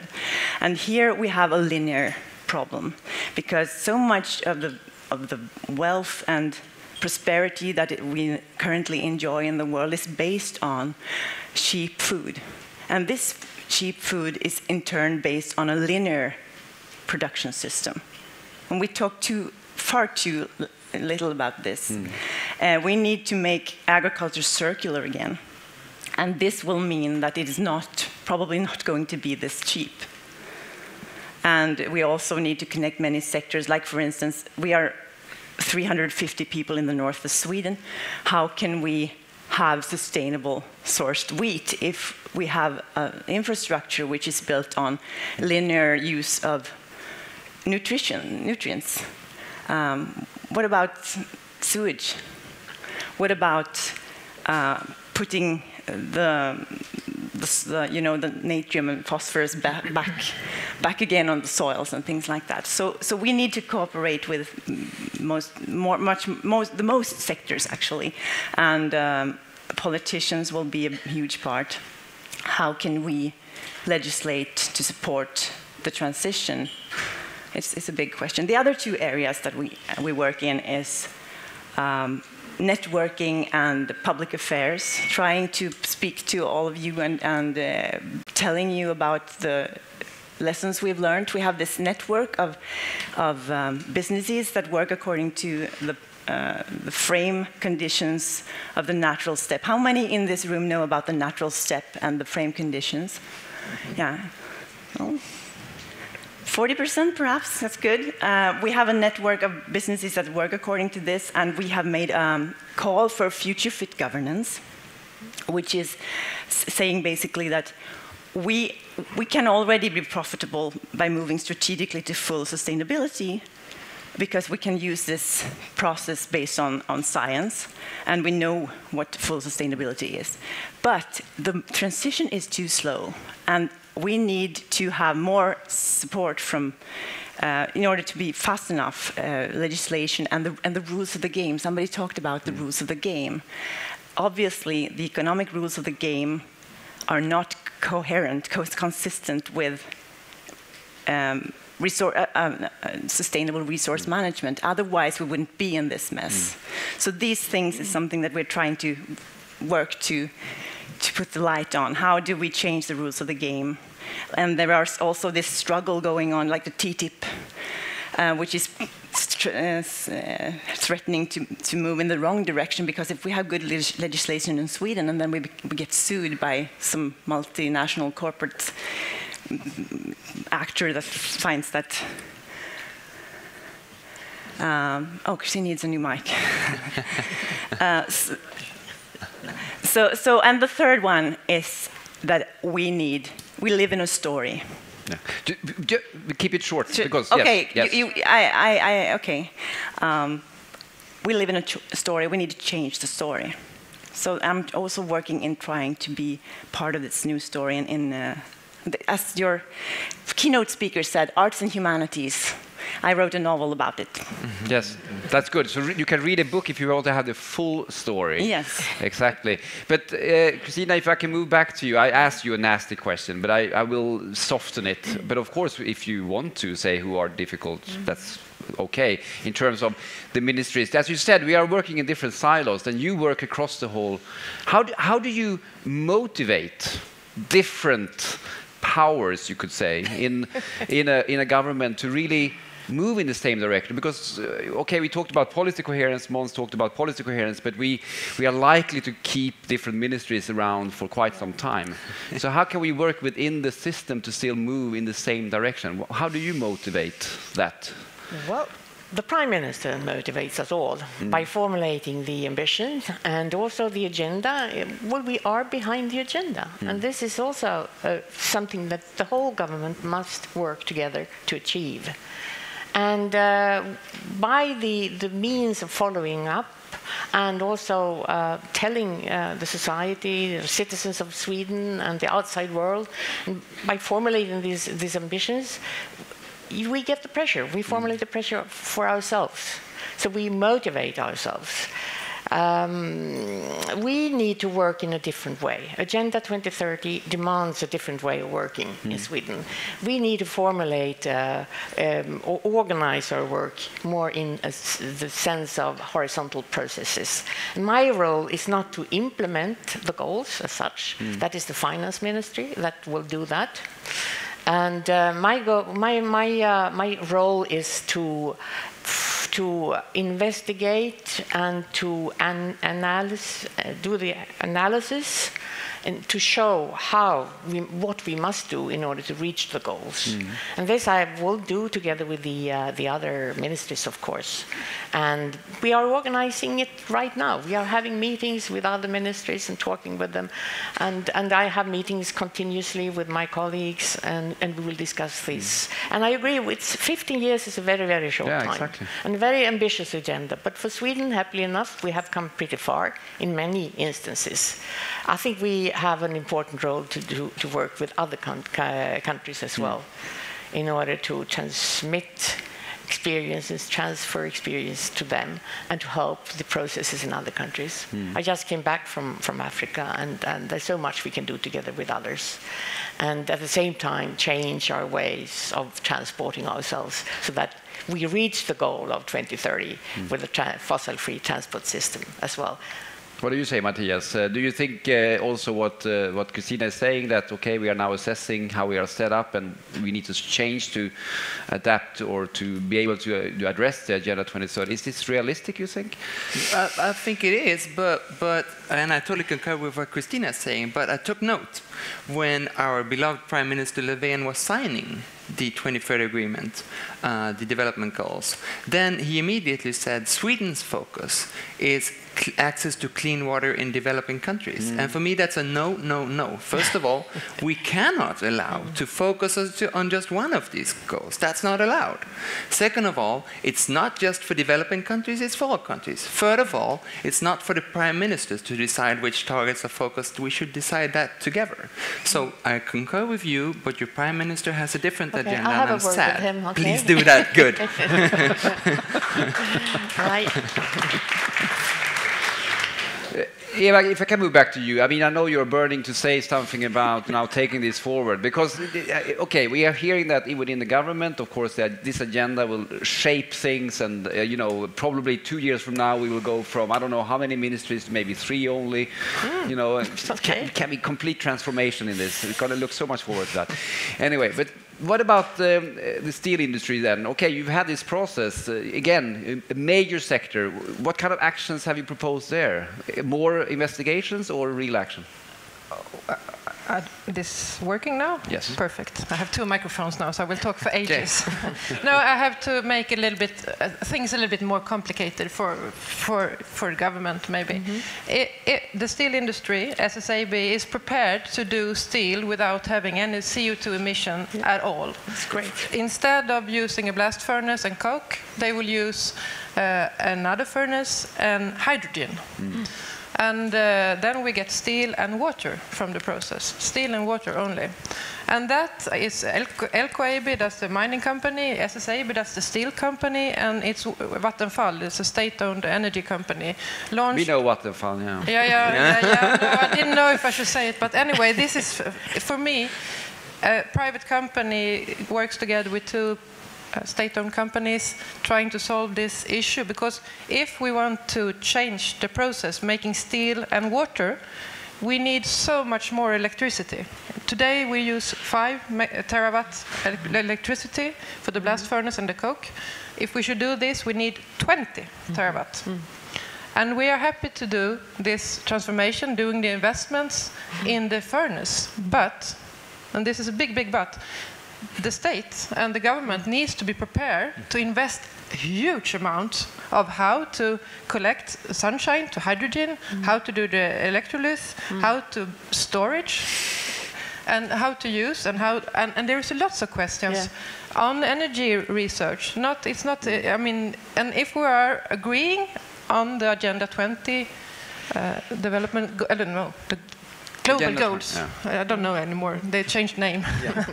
but anyway, if we're agreeing that we should take people out of poverty and we shouldn't have any CO2 emissions, then we have to decide what to do. And this is a way forward. But we have to agree upon that this is the Swedish way forward, together, the public and the private sector together. And then SSAB, LKAB, and Vattenfall is prepared to do investments, but there is a lot of infrastructure investments to be done. And if we don't talk about these bigger questions, only focusing on one goal, and I do agree to Mattias, we can't pick one, we have to have them all there, then we won't succeed. But this is really, and it's not possible to do until 2030 because it's a lot of investments. So it's 2045 for us. So both, both, I mean, both uh, Anna and Eva are saying that we need to really have, you know, partnerships. You, you can do a lot of things within the private sector. Uh, you also talk about transformation, really. I think, I mean, basically, you're also talking about transformation. So, uh, Kristina, before I go to you, Mattias, because I know you want to comment on this, but Kristina, I mean, is that is that a key role of the government to really listen in now and, and be prepared to make major infrastructure investments and so on? And where will the money come from? Well, there's no shortage of money. Good. All right. only, only the, oh, it's only the Minister of Finance who says. But in the private Very sector, good. you have a lot of money in the private sector. Ah, okay. You have to find the means, the ways and means to channel the private sector capital in the private market, capital markets, to sustainable goals, to, to uh, de- development for the society. And that is a big, big challenge that How, we are how, how can we working do? on. Yeah, but how can we, do you have an idea there? What well, do you as, think? because I know you. as was said earlier, there is a development taking place. There is an in, in interest within the financial institutions to get involved in the green bonds, to change the way they work, to disinvest, to, and we should interact with this. Per Bolund and I, we have uh, both um, uh, contributed to um, a role in uh, the G20 uh, finance group, study group for green finance. And the G20 has another study group that is about climate finance. So there is a growing interest in the world as a whole for participating in a change, in this change. The only big problem is the speed, that we need to move much more rapidly. But when the market sense that there is the future is different, the future is green, then it will adapt quicker. But we need to have the right incentives on at place. And uh, I, uh, I feel that um, there is, uh, what we sh- must do is, of course, to have partnerships. We must work with business, with the industry. We must have joint um, research and innovation programs, and we must uh, have a dialogue all the time in order to achieve these uh, goals. Excellent. Thank you very much. I hope you all tweeted also that there is no shortage of money in the Swedish government. That's great. But Mattias and then Anna, what, what do you if, think? If, if some of us believe that some people might think that there is a shortage of money, mm. then I think it might make sense to spend that money wisely. And then I totally concur with Eva that the way the government is currently spending its climate money is efficient in terms of the maximum number of press releases we can get for every million dollars because we want to give you a little bit and you a little bit and you a little bit so that every municipality can have a few lads stored by charging points for electric cars. But if we really want to make a change, something that makes other countries look and something that can really mean that Sweden as a small country does define something, then we need to say, okay, we're going to go all in in a few select sectors. I said transport, she says the, the steel industry. I think those might be the two where we can really make a difference. But to put a little bit everywhere means we're never going to be the global leader that we that mm. is the only point for us to do anything in climate. So it's too much dutt economy too much dutt and too much focus on those damn press releases. Okay. What, but what do you think we should do about it then? I mean is it, how can we how can we get... it is done and over. Focus on a few issues to where we can really make a change. Say okay steel that's the thing. And say we've got a seven party agreement on a fossil independent transport sector. Let's go to legislation and let's give the right incentives and let's let backcast what we need to yeah. do to actually get there. But in the industry, may I just comment? Uh, there's 12 industries in Sweden.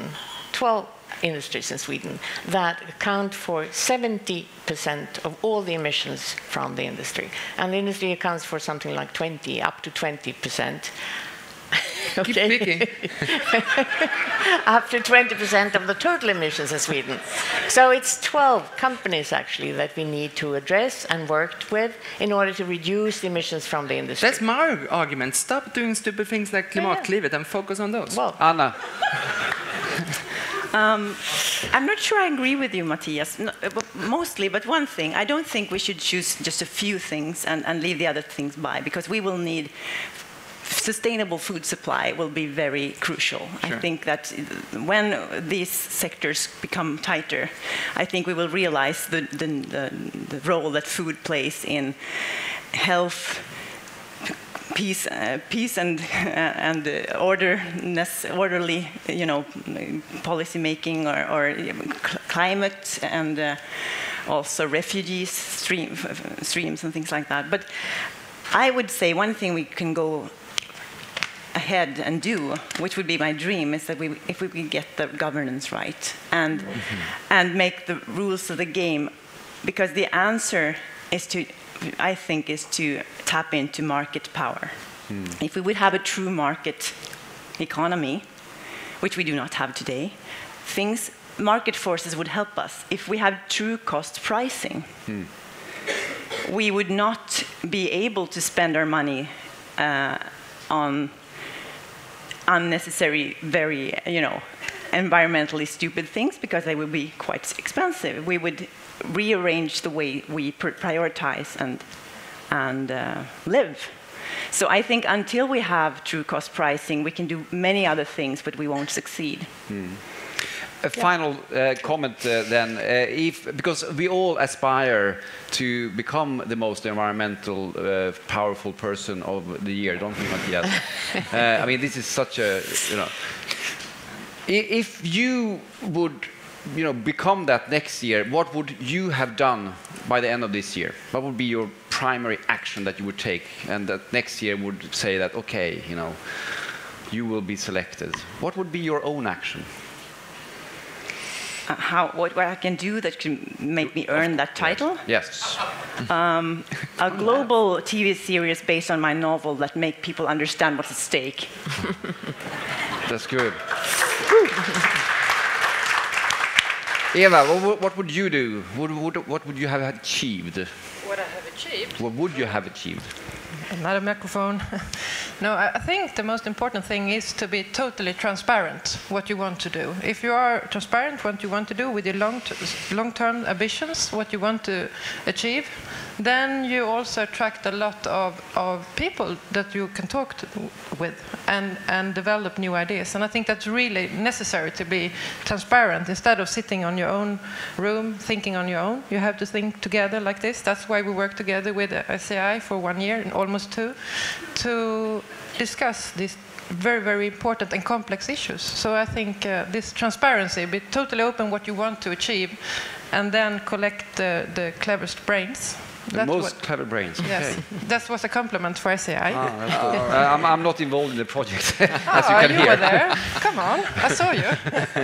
Kristina, you. what are you saying? Also, politicians are on this list. So. Yeah, sure. Um, well, I think I would like to focus on the partnership with business with the Swedish uh, business. And Swedish business is not only important for what we are doing in Sweden, it's important for what, is happening in other countries because we are so export oriented. We are important in Africa. Ericsson, Scania, Volvo, ABB, they are all there and they are important for what they are doing. Goes there. back to your so question. Partnership with business and strong partnership for, for uh, achieving the goals and uh, being not only national but cosmopolitan, international. And Mattias, I should also be a bit uh, honest about the fact that it's not actually you know, the most powerful environmental person, it's actually sustainability, so it's yeah. broader than that. So, so when I was when I was elected, that uh, I think people verged between the disappointment and despair.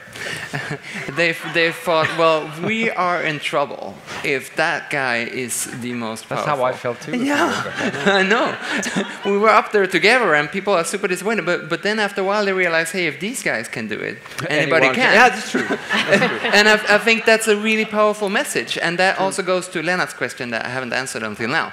Uh, that that this, the sustainability goal number 17 is that in order to fix the other 16, we need to work much better together. I think mm. think tanks, policy, mm. Jan the elephant moving out of the room and interaction, and bakeries. I think we are doing something wonderful here together, and that's by far the most important goal of those 17 for me. That's great. And you know, this was the final quote, and I gave it to you because you were still elected this year. Yeah. So even then, that came before even a minister getting the final quote. Ooh, Kristina, if you don't have one. No, I'm fine. Oh, that's good. We see like the wine that. from here, so we're all fine. No, but that's a perfect quote from a politician. I'm fine. Then you know that you have succeeded. So far. Anyway, we have uh, been running over time a little bit here, and you know, people are starting to sense the smell from behind where there are stuff on the on the bar counter there. Uh, so I want to give you a gift uh, from SEI. It's actually very sustainable, to be honest. Uh, and uh, thank you very much with a very warm applause. thank you. Tackar, Oh, and, and, and, and then I would like to hand over to uh, Rob. And what I would like to do, this is a bit of a coup also. This, this whole afternoon has actually been organized by Rob and his team from the communication uh, in SEI. It's an extraordinary sure. team of people. Can we give them an applause as well, the whole team there?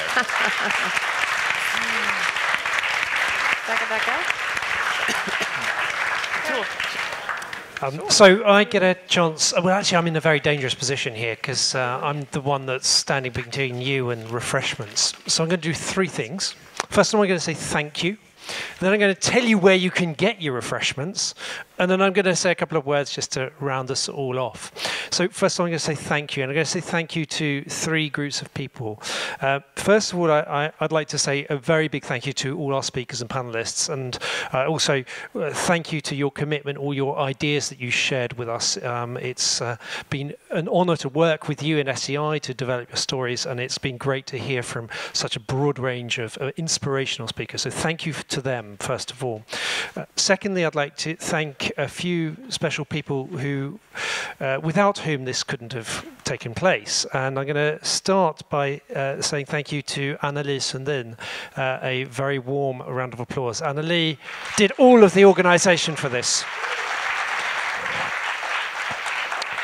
Uh, secondly, I'd like to thank Ian, who's standing over there.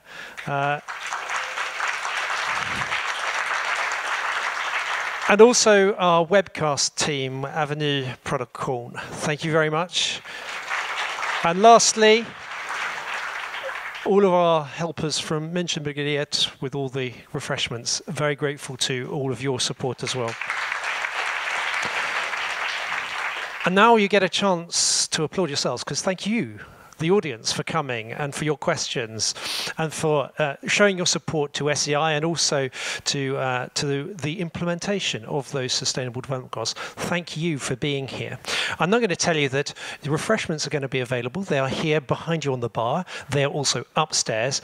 And I can just see that the sun is trying to come through weakly through the clouds. And if you want to get a breath of fresh air, there's also some refreshments out in the sort of lobby area where you came in.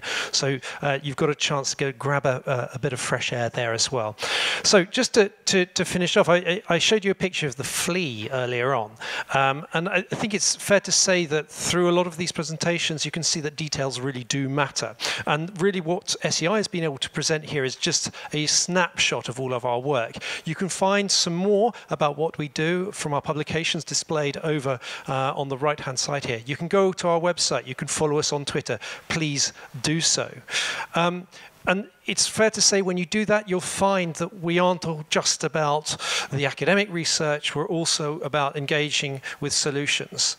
And I want to tell you a little very quick story about, about something that happened uh, yesterday, I think it was, um, where one of our researchers was presenting his work, it's on sustainable sanitation, to colleagues at SEI.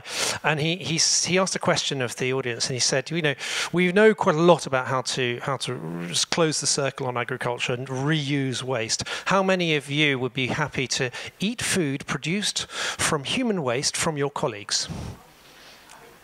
99% of people said they were. So we're getting somewhere there.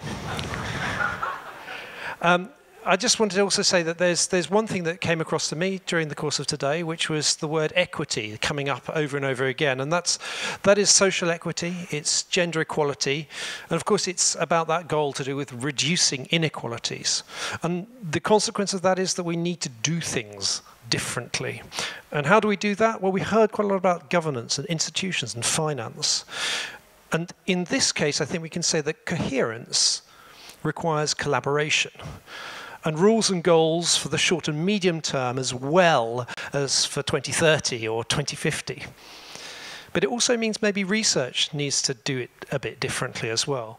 And I think that SEI is already starting that. It's starting to be more participatory, to co-produce knowledge with the users, to be close to things on the ground, to understand what those needs really are. And the other thing I think research needs to do is it needs to be able to say not only what is the situation now, provide all that anal analysis, but it also needs to describe what could be. Because it's through the description and the tension between what is and what could be that we can find stories that motivate change, and that in the telling of those stories, we can have change that persists. Thank you very much. Please enjoy your refreshments.